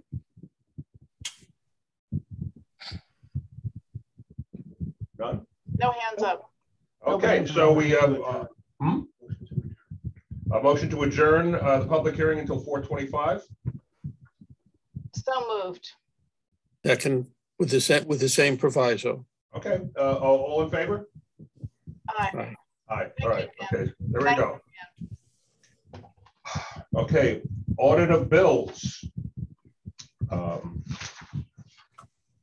Resolution authorizing budget amendment for over budget accounts. In the backup material, um, we appreciate that we just uh, vote on it straight through. Okay, um, motion to, uh, approve the budget amendments for overhaul, uh, over budget accounts? I, I think it'd be helpful if staff just gave a, a, a quick rundown for the people who are listening. Uh, sure. So, so these five items, I think there are five items, are basically for, for um, some minor um, adjustments in our uh, water, heating, uh, um, uh, mileage, which, which is uh, uh, gas. Um, uh, We call it vehicle fuel and mileage. Um, And then some, uh, uh, the largest number is unac- unallocated insurance. Uh, we're taking from the revenue line of uh, um, insurance recoveries and moving it into our expense line. It spells it out there. It's pretty detailed. This, these resolutions have come a long way in the, since I started and they look really good now. Very ex- self-explanatory, but they're just some minor items just to, uh, just to pay the bills. No, I understand, but a lot of people who are listening, they don't. Oh, have sure. I understand that. I appreciate that. You're right. You're right. Did our insurance rates go up because of Uh-huh. I? So Because basically, of, because of Ida, something, something I'm not going to be able to get from FEMA. Mhm. Um, but yeah, insurance, insurance uh, um, popped up pretty good. And, and you know, uh, mo- many of the board members know, um, most of the public doesn't know, but our insurance isn't just paid once a year like a typical uh, uh, insurance policy of, you know, residential insurance policy.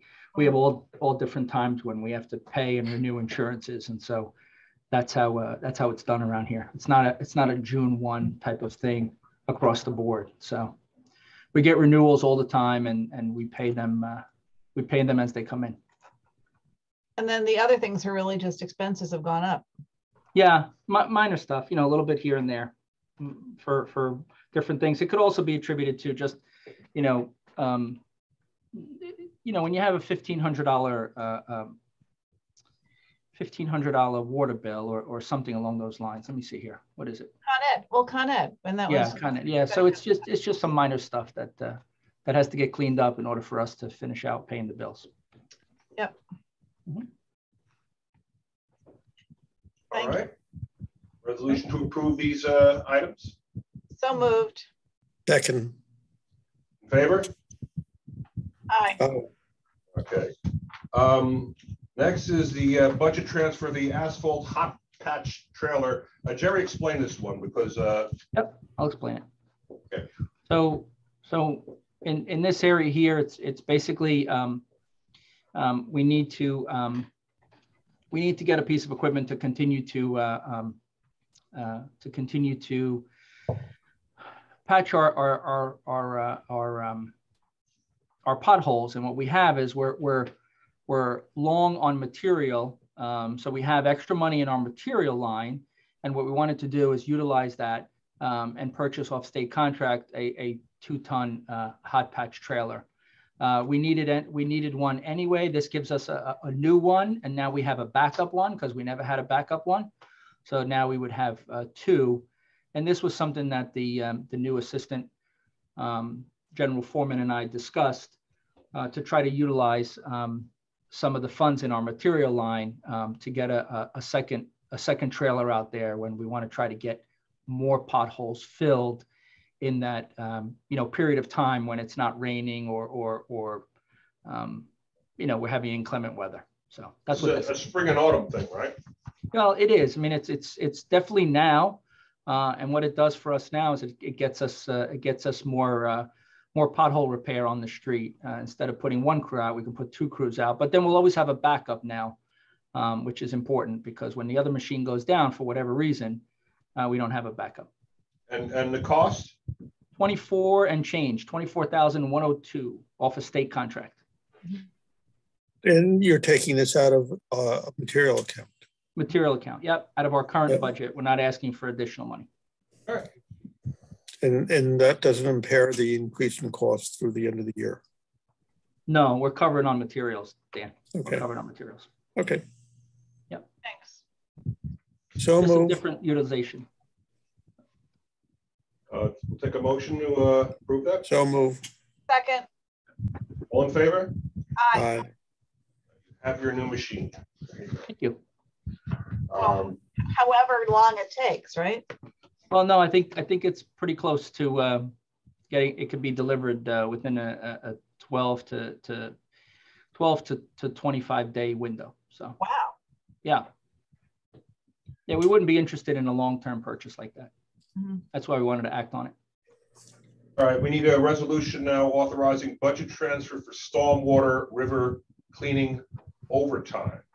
Mhm. This takes the money that we have in um, river cleaning out of uh, contract services and puts it into overtime um, because we're going to be doing some handwork, Mhm. not some, quite a bit of handwork in-house uh, with our existing employees, uh, as opposed to bringing in an outside contractor.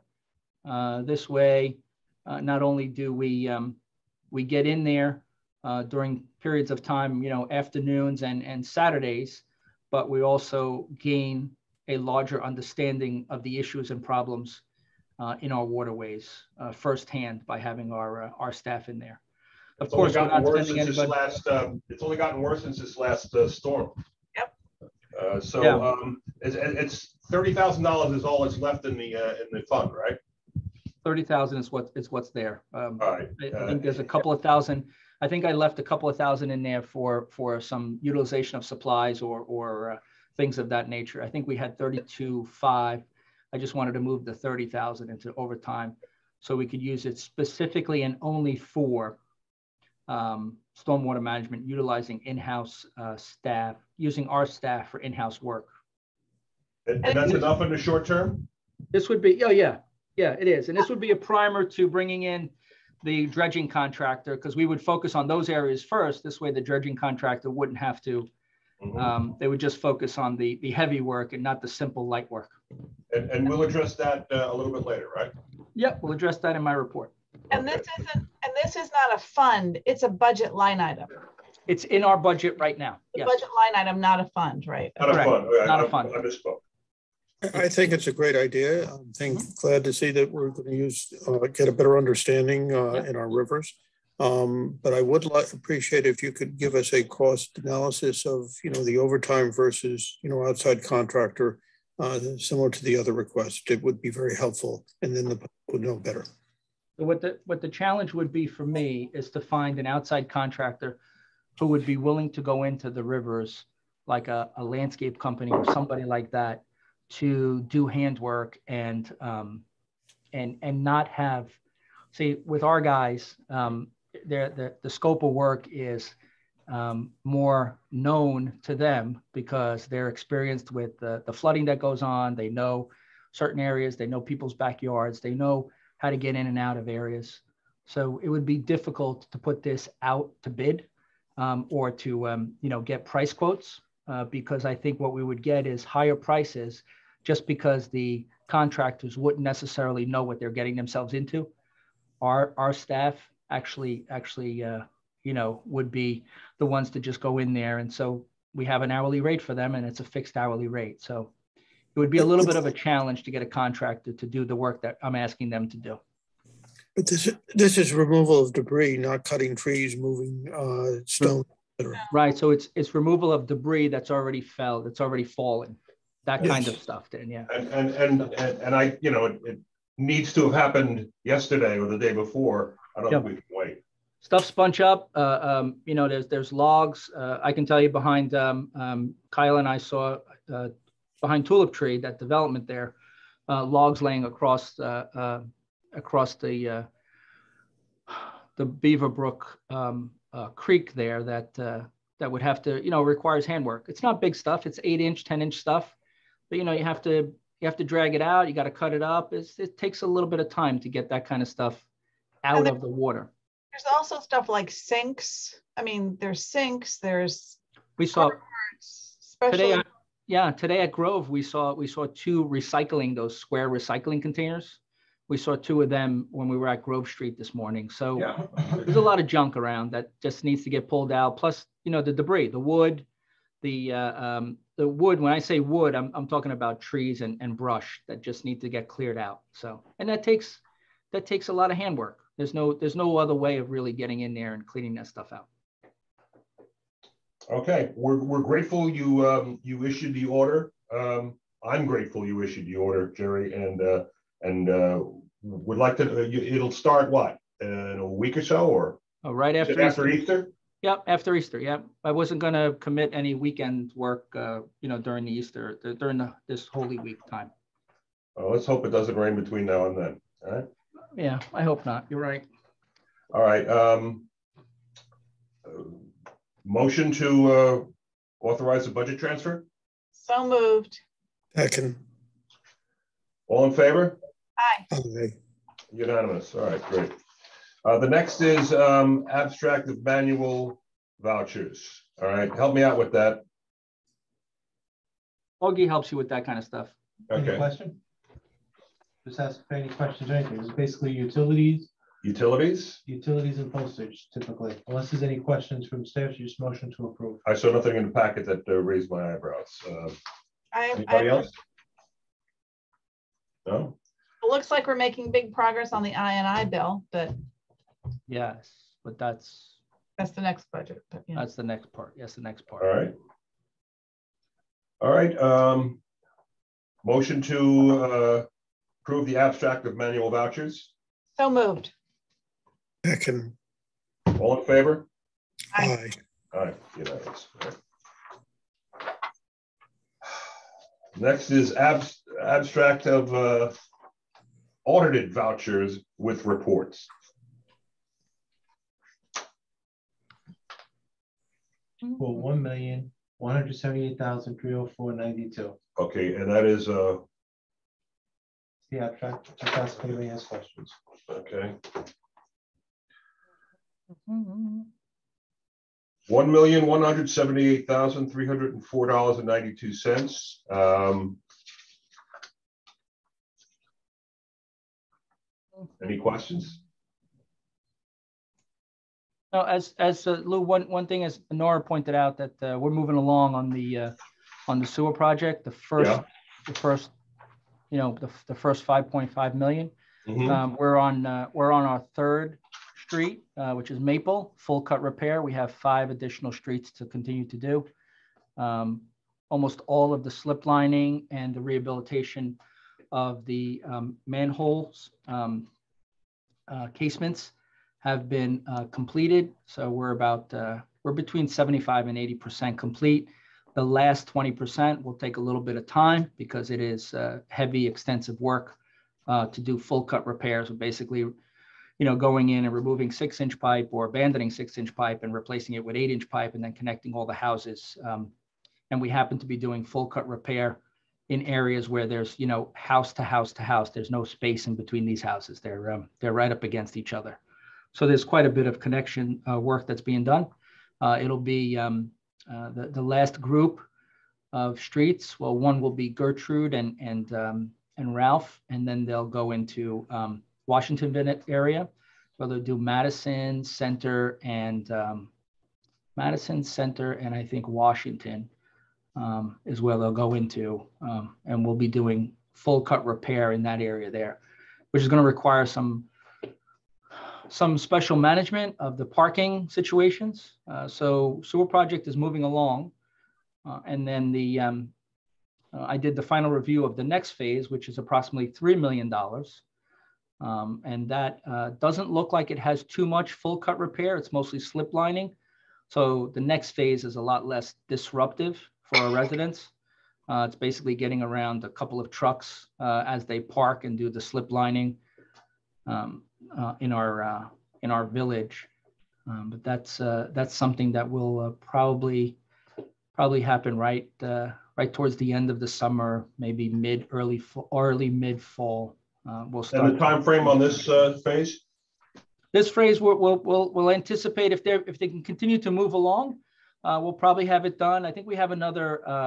I think it was 68 or 69 days left for the next uh, um, um, group of roadways. So we're looking at, you know, we're looking at three plus months. Okay. So by the end of the summer, beginning of fall, we'll have this phase done, of which everyone knows we have a $4.9 million grant, uh, which out of that 4.9 million, we're, we're on the hook for 1.6, but the truth is it's, it's found money for us because we were going to bond the entire 5.5. Um, the next phase has been presented to the uh, to Save the Sound. I think we've um, gotten to a point with uh, the Save the Sound attorneys where we're now uh, finalizing our, um, our our time with them, which is uh, very welcomed news for myself and, and Mr. Bob Spolzino. So, all right, uh, we we need a motion to approve the uh, ordered voucher with reports. So moved. Second. All in favor? Aye. Aye. All right. Okay. Mm-hmm. You have to sign both of them. The, si- hmm? You have to sign both of them. oh, gotta sign them. Deputy mayor. Uh, that's right, deputy mayor, how about that? And a couple of bucks to get me on the subway, right? All right, um, old business. Uh, None. None. All right, here you go. Um, new business, uh, resolution authorizing bench donation at East Basin of Harbor Island Park. This is another one of these, uh, memorial benches. Um, it- Just What, read the uh, resolution. Want me to read it? I can read it. oh, no, I read it. Okay. Okay, good. Augie's helped me out here. Okay, good.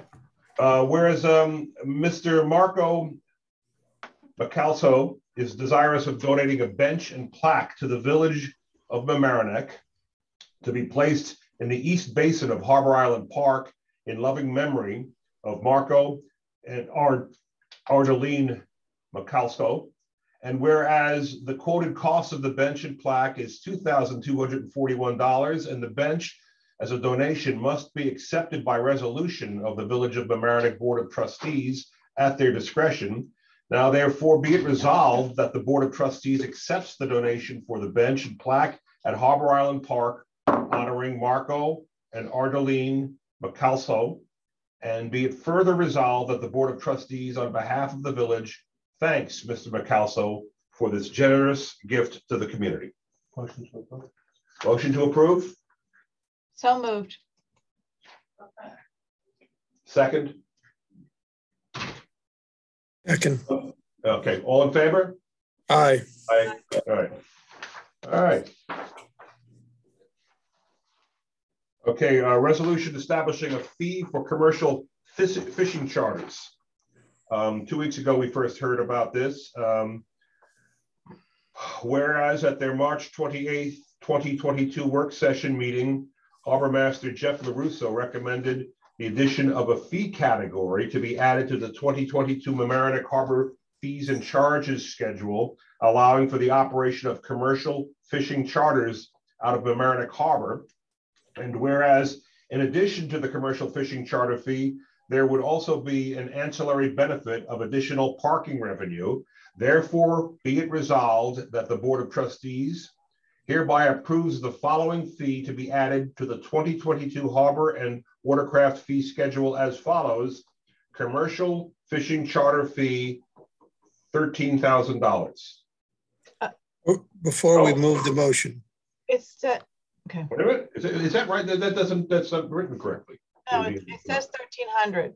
Says 13, yeah, the, the comma's in the wrong place. Right. Okay, all right. Well, the decimal is too. no, it's, it's thirteen thousand dollars. But the question, uh, 13,000? Yeah. Okay, Thirteen thousand. The question from the audience also. okay. All right, question uh, from you. I'll I'll go ahead, uh, Dan. Uh, Jeff indicated that this was going to be for the use of a independent work float. Uh, And I think we need to put that in the resolution as opposed so that uh, we don't use the transit dock uh, for this and we don't use uh, the uh, other village docks. Uh, he Go ahead. That this would be an independent uh, work float that we have space on that they could use, utilize. And I'm all for that, uh, but I think we need to specify that in the resolution. Otherwise, it could be anywhere. Oh, th- this is just for the, the, the fee. So I think, I think I- But it's the fee for what? And the fee is for, commercial fishing charter. yes, and I'm suggesting that it be designated of commercial fishing charter, charter to an independent work float. I, um, Otherwise, Lou, we can, just doing it by that category, it could be used at any dock, and that is not the intent of what we have been told and what we're trying to do. Well, we, we, we can direct our employee uh, however we wish. I don't think we need to put it in the resolution. Uh, I would like to make it in the resolution. So I would like to say, therefore, be resolved, the Board of Trustees hereby approves um, a fishing, uh, uh, fishing charter uh, at an independent work float uh, with the following fee uh, added to the blah, blah, blah.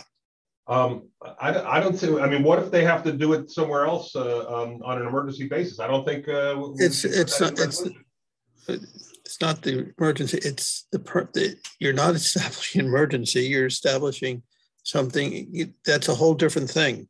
We're establishing a fee. Suggesting is, the concern I have is this turn into having fishing charter boats taking up space at the transient dock, which I'm not sure that that is the policy we want to do. It could also take up space at other dock, you know, uh, which I don't think we want to do either. Well, I, I, I may agree with you on that. I just don't think this is the, the, uh, the way to do it. I mean, this is just. Uh, Well, you know, that, that, Lou, you're entitled to feel. Okay, all right, all right. You can- You know, uh, you know, uh, you know, I, like I didn't, you know, I'm not in favor of the, um, you know, two percent, but I'm, you know, I understand others wanted it, so I was happy to let it continue. Uh, my question is, Jeff was very specific about wanting one. You know, there's only gonna be one charter, not a lot of charters. And it was gonna be in one location. And I think if we put a fee that's vague, people might, would, if people applied, let's say five people wanted a charter, how do we say no?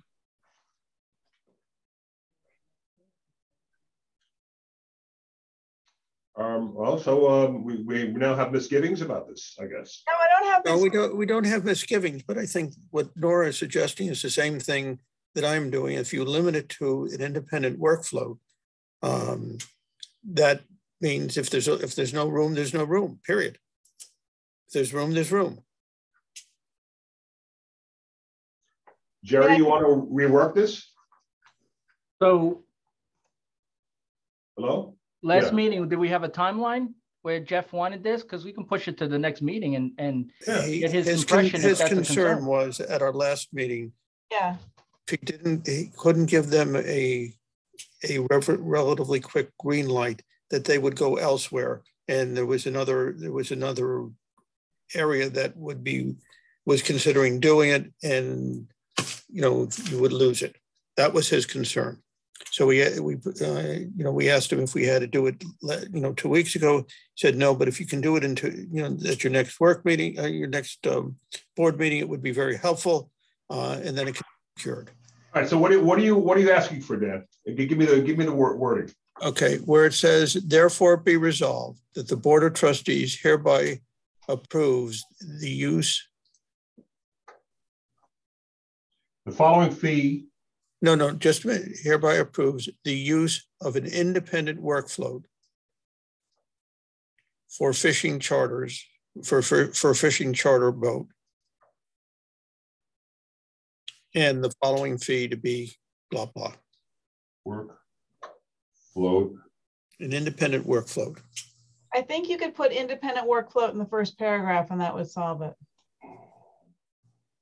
That would be in the whereas. It's not in the, Whereas isn't. the, the whereas doesn't count in terms of what is operative.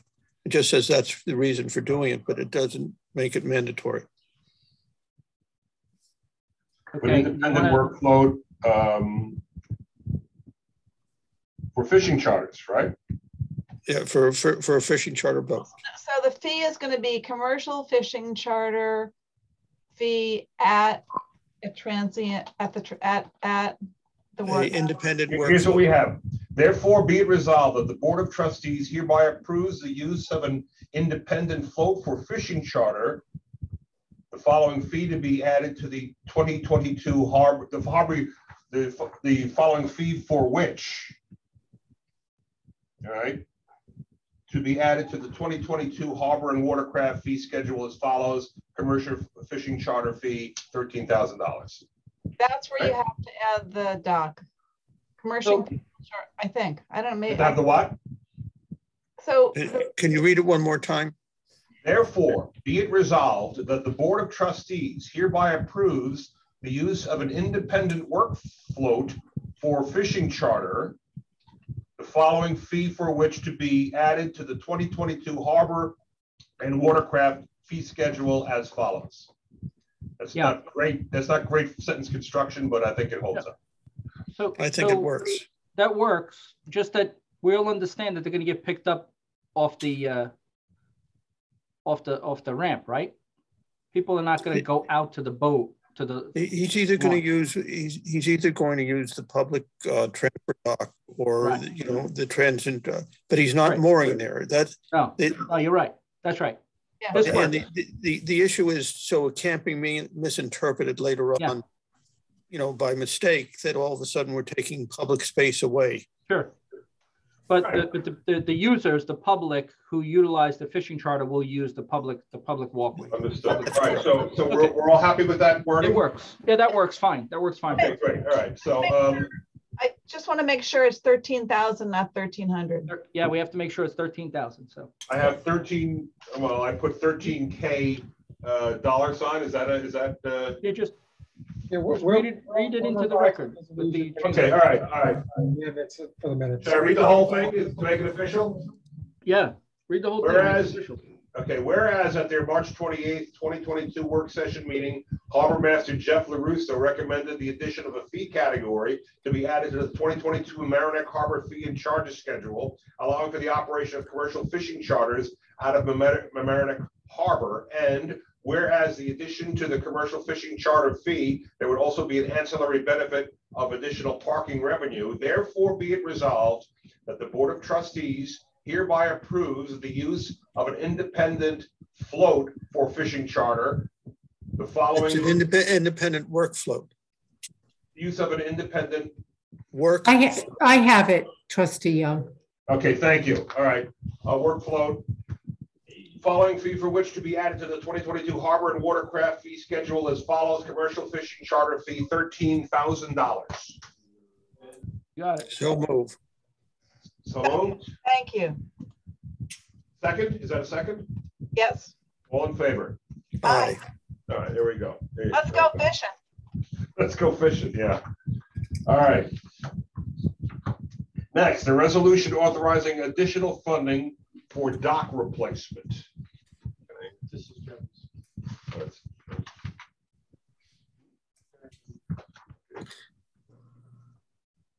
Okay. Jerry, you doing this? I'll do it, yeah. So, um, so in January, the board authorized sixty-five uh, thousand dollars purchase materials or hardware. Uh, we were purchasing uh, that type of uh, material off a state contract. Um, um, when we uh, we need an extra, we need an extra. Um, uh, I think it's nineteen thousand and change. I can't remember what the the number is. Well, Um, seven six and eighty cents. Okay, thanks. So hold on, let me pull it up because I shouldn't do this from memory. Um, okay, so so now uh, therefore be resolved, the village board amends the January 25th resolution and approval and authorizes clerk treasurer to create a capital budget item for phase two of the dock with a budget of 73,000. Uh, therefore, um, uh, I'm sorry, resolved that the village manager here authorized uh, the purchase of pressure treated wood from HD Supply um, in the amount of twenty-seven thousand eight seventy-six eighty on the Sourcewell contract 12 12 18 HDS. And that's it. Okay.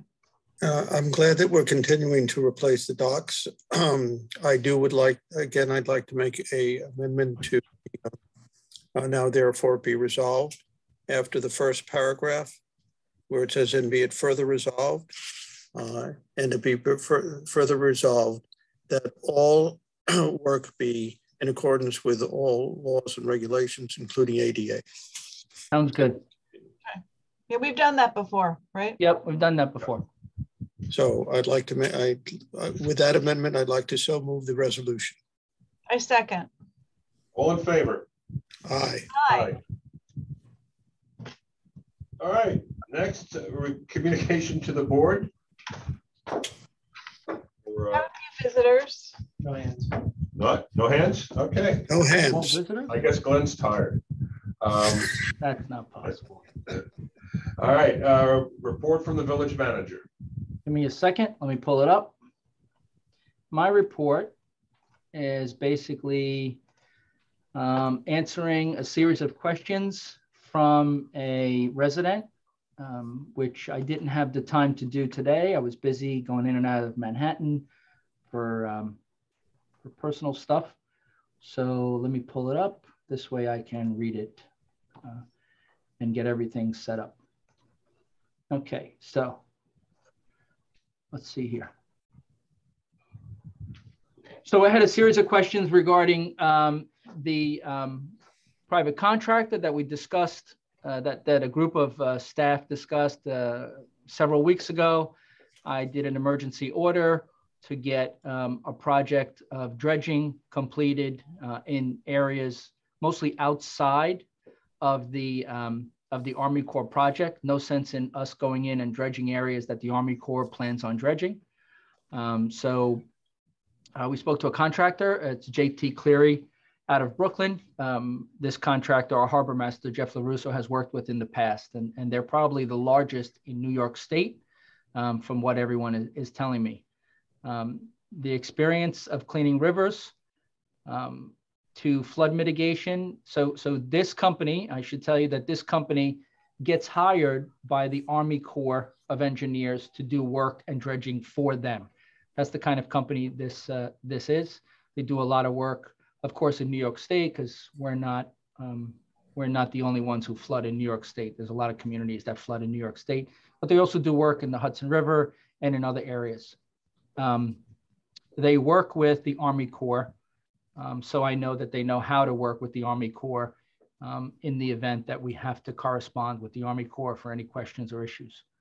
Um, one of the questions that the uh, resident had asked is who and how will will uh, will we communicate uh, to the Army Corps regarding the scope of work uh, that we're looking at, and I'll explain the scope of work in a second, and that'll be me.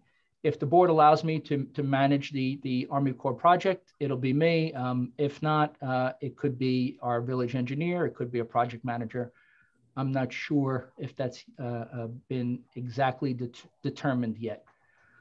So um, we're writing specs, or we're using the specs, I should say, that we used in 2011. I'm just updating them. Uh, most of the areas are the same that we worked on in 2011 when uh, uh, then manager Slingerland uh, put this work out to bid, um, received the um, received the, the, the permits, and we had our, our engineer at the time pull the permits um, from the DEC, which our current consulting engineer is doing now. So uh, I'll have those specs finalized in, in a few days.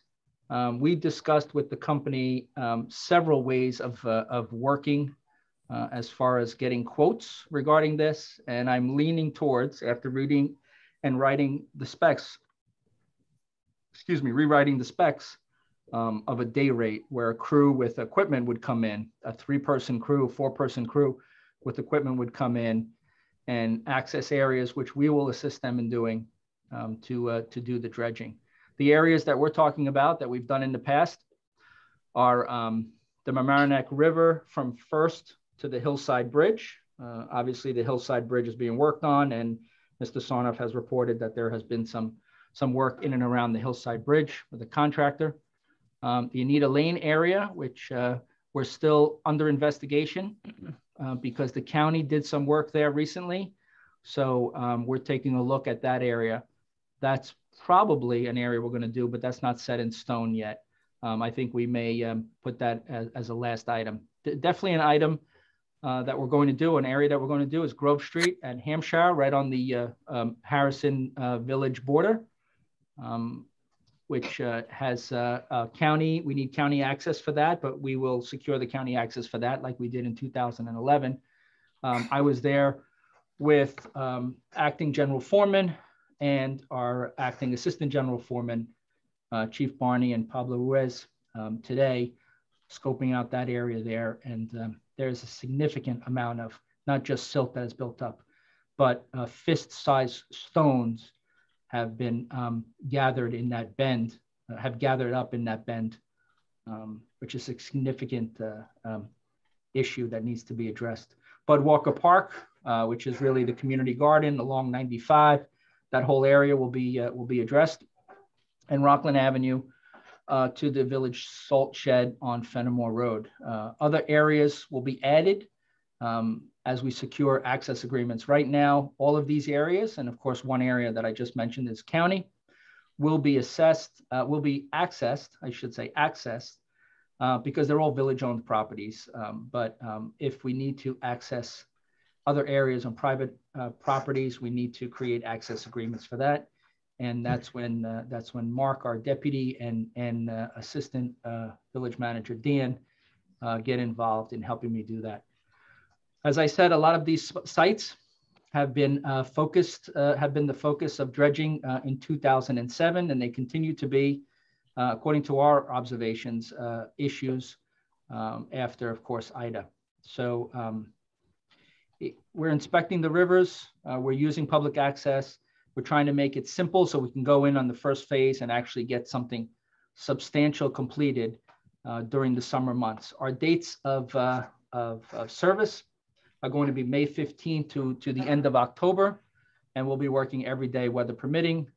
Um, we'll be we'll be continuing to work um, as we can. Um, the resident asked if if uh, we will continue to do a quarterly service program to ensure maintenance and prevention. We will continue to do maintenance, but not to this degree.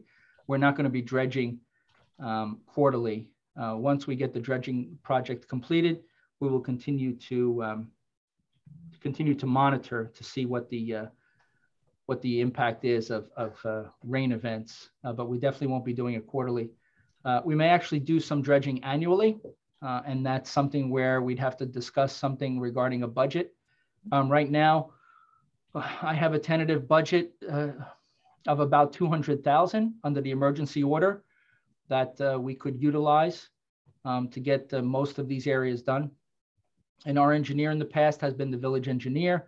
This time uh, it'll be our um, village uh, consulting engineer, uh, Joe Tremelli and Kellard Sessions. They've already been directed to, to uh, approach the DEC and secure our permits. So what we're doing right now is, as we just approved the $30,000 in overtime, um, we're going to send our uh, force account labor, our, our, own forces, to go out and do a lot of handwork. Um, in that period of time, as we wait for the permits to be secured, we need a permit from the DEC, we need a permit from the, from the county. Once we wait for those permits to be secured, we're actually going in and doing the handwork, which is really not disturbing anything, but basically just pulling stuff out that has already fallen and, uh, uh, and uh, could be clogging up. Uh, once we secure the permits, then we'll bring the, uh, we'll bring the, the dredging crew in. Uh, will probably be uh, the engineer said we'll probably be a month uh, a month out from uh, from last week uh, regarding our permits, and so um, that's where we'll be. We'll be providing staging for the uh, for the contractor. They have committed to a crew for the entire summer and into the fall. I'm not sure how long it's going to take them. I know that they are the best crew around, so I don't have any gauge of how quickly they can get it done. But the quicker, the better regarding uh, um, you know our our our concern and our anxiety about uh, continuing to have uh, uh rainstorms, even a, a, two inch, three inch rainstorm uh, provides a negative impact for this community. So, um, and those are fairly normal storms. Um, so that's my report. Um, I have everything um, set up where I have all these uh, questions answered. I will provide that to the resident who was asking the questions as well as the Board of Trustees. But I'm sorry I couldn't finish out this email today. I was just, uh, I was told not to email and drive in the city at the same time, so I couldn't do it. Yeah. That was good Jerry, advice, right? That was great. Dan? Dan? Jerry, great report. Uh, two questions or comments. Um, you, you need permits from the uh, Army Corps as well. I'm sure Kellard Sessions would know that. Um, yep. Uh, you need that, and you also, which also includes the Department of State. Those are the easy, easy ones. The second question is where are you going to relocate the material? So that's a, a question that we have to look at. Um, the contractor said that they would uh, potentially have the ability to remove the material, or we would bank cast it. Um, we looked at some areas. We don't think that bank casting is going to be a, a big option for us, but it is going to be somewhat of an option. Um, so we may have to um, we may have to pay to bring the material off site. Yeah. And that's where the concern is there. Yeah. On the, uh, going back on one last thing on the permits, uh, from you can get ten year permits for uh, for that. I wish I wish so. I'm looking at permits from 2011, and the last time we did this, unless I don't have them, um, we only have permits from the DEC and from the county. Uh, what we will do is we will secure the longest term uh, permits. I do have a, a, call schedule with Joe on Wednesday, not tomorrow, but Wednesday. And I'll make sure that we're on the same page. He just needed a couple of days uh, to get some other projects out of the way. Yeah. If I can secure a 10 year permit, I'll definitely go after that. It doesn't look like it. Dan, those permits, Sarnoff, those permits you sent me, they didn't look like, they look like they were specific to the project that, that was presented, right? Yeah, that was the county stream control permit. Yeah. I think they get it was they, specifically cited the plans that uh, Keith Fury had prepared back back when. I'm not sure the county will give a tenure, but you can get from Corps in the state. But but you but you do need the Corps. Um, whether, whether they did that in the past or not, I can't. I'm not going to. Yeah, it doesn't look like they did, but I'll, do it. That's an easy. That's an easy. it's it's it's a relatively simple thing, you know, for for upland Jerry, uh, did, relocation. Jerry, didn't they instruct us to do this some time ago? The Corps? Yeah. No, I don't. I don't remember that. They what they said was the only thing that they said was, and what I've read in the reports is that we have to provide a, a maintenance a, a, a, maintenance program after they've completed the project. These are areas outside of the mostly outside of the Corps the Corps project area that we're focusing on. No sense in, in like I said to you before, Lou, no sense in us going into an area and that the Corps is going to you know, doing their project because the Corps is at zero cost to us. So Yeah, but, but it might rain before they get there. Um, what, what, what, uh, Right. what, it might when rain do you before they get think, there. when do you think that, uh, uh, they'll begin, uh, really begin? May 15th. Yeah. Really? May 15th. Yep. No, no, no, May no, no, I'm talking about the Corps, the Corps. Oh, I don't know. Well, well, well, so, so, so the, all those questions should be asked on May 18th when we have the, uh, when we have that, that, that big uh, meeting in, at the Emelin. Okay, all right, Because because they, i- i- if- they if told me they weren't going to present anything until 60%, but, Yeah. you know, a lot of, a lot of motivation from the community has gotten them to, uh, to, you know, to bring, uh, to, to, to show up on the 18th of May, which is, you know, it- it- 30 is days two- away, so. Is two hundred thousand enough? No, so that's a tentative budget. That's a tentative budget. Let me, let me, uh, um, so Lou, my thing is I don't like to talk numbers in public meetings, so let's just leave it at that and then we'll talk about, you know. Well, what do we need If I to say do? half a million, my contractor may come back and say, hey, it's gonna cost you half a million. I'm a little leery about that. All right, well, what, what do we need to do to, to, uh, to, do we need to transfer some money to make it available, or do you? Not yet, No? not yet. Because it's an emergency, I can move forward with the quotes and the discussions and the permits and all of that stuff. Okay. And then when I have something, I'll come to the board. All right. And- But we'll and- keep and- it, we'll keep the numbers vague on purpose for now. Okay, my, my concern is that if the, if, if the, the, the Corps is, um, a year or more out on meaningful progress on this, that we may need to do a lot more. Well, um, we can discuss that with the Corps. Okay, If, if they think that an independent contractor that the village hires is going to be faster, a contractor that they have hired in the past is going to Yeah. be, is going to get in faster. I'm not sure how that dynamic plays out truthfully. Talk So things for about an hour. we'll figure that out. what about, um, uh, and what about uh, Beaver? Handwork. Oh, Yeah, that's part of the handwork. That's part of the handwork, uh, uh, project with our in-house staff. Beaver Swamp, uh, so, so they'll, uh, th- those folks will see some, some work in, in, in that, in that, uh, area Yep. also. they'll see a lot of uh, a lot of uh, healthy uh, young men and women in chartreuse shirts going through there. All right, That's what they tell me that color is chartreuse. Yes, I think that's a very good description for it. right, right. And I think, unlike, like, uh, like periwinkle, people see it in way different colors. It Doesn't right. same to everybody. Green, fluorescent green. They tell me it's chartreuse. So Green. all right, um, I appreciate, uh, uh, the, the, the prompt work, Jerry, I, re- uh, we really do. I think, I think we all do. Yep. Uh, yep, oh sure. We'll keep we'll keep plugging away at these big impossible projects. Right? It's uh, it's what gets me up in the morning. Is there another page in it? No. Where- Where's the other? page? I'm, I don't have my whole agenda here. Hang on. I've, I've lost, I've misplaced something. Hang on. Um, the next item is, is, is Bob, village attorney. No. Oh, yeah, Augie. okay, yeah, No, Augie, Augie. Augie's next. okay, yeah. Yes, I'd like to announce the resignation from ZBA Board, uh, Meg Jurgen. I'd like to thank you for her service, her volunteer service on that board as well. That is all. Uh, village attorney? Spolzino? Mr. Deputy Mayor, local law number three, if you recall, that was the law which prohibits the use of cannabis in the village's parks, was filed with the Secretary of State and became effective on February 28th. Okay. Thank you. Thank you. Uh, minutes, commissions, board committees, uh, minutes of the Board of Trustees work session and regular meeting, March 28th, and budget work session, March 30th. Um, I have one thing to note, and I, I should have mentioned it before now, Sally. Uh, there was a, uh, a talk of a, of a possible grant from the, from NYSERDA, and I think it was $5,000, not $10,000. Correct. It's five thousand. You're right. Yeah, yeah, Thank yeah. you.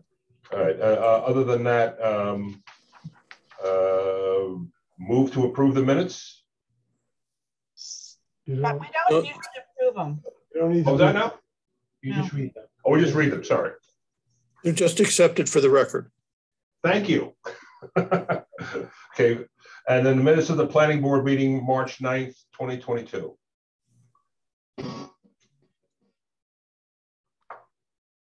Right. Same thing. Okay, Just accept it. what? That's it? That's it. Okay, okay, good. We're finished? Motion to adjourn. Hmm?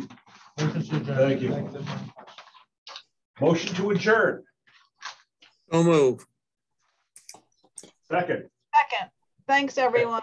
Thank you. Thank you. Thank Thank you you. for your help, uh, Dan and uh, Nora. Appreciate it. You're very Thank you. welcome. Good Take job. care. Night. Bye.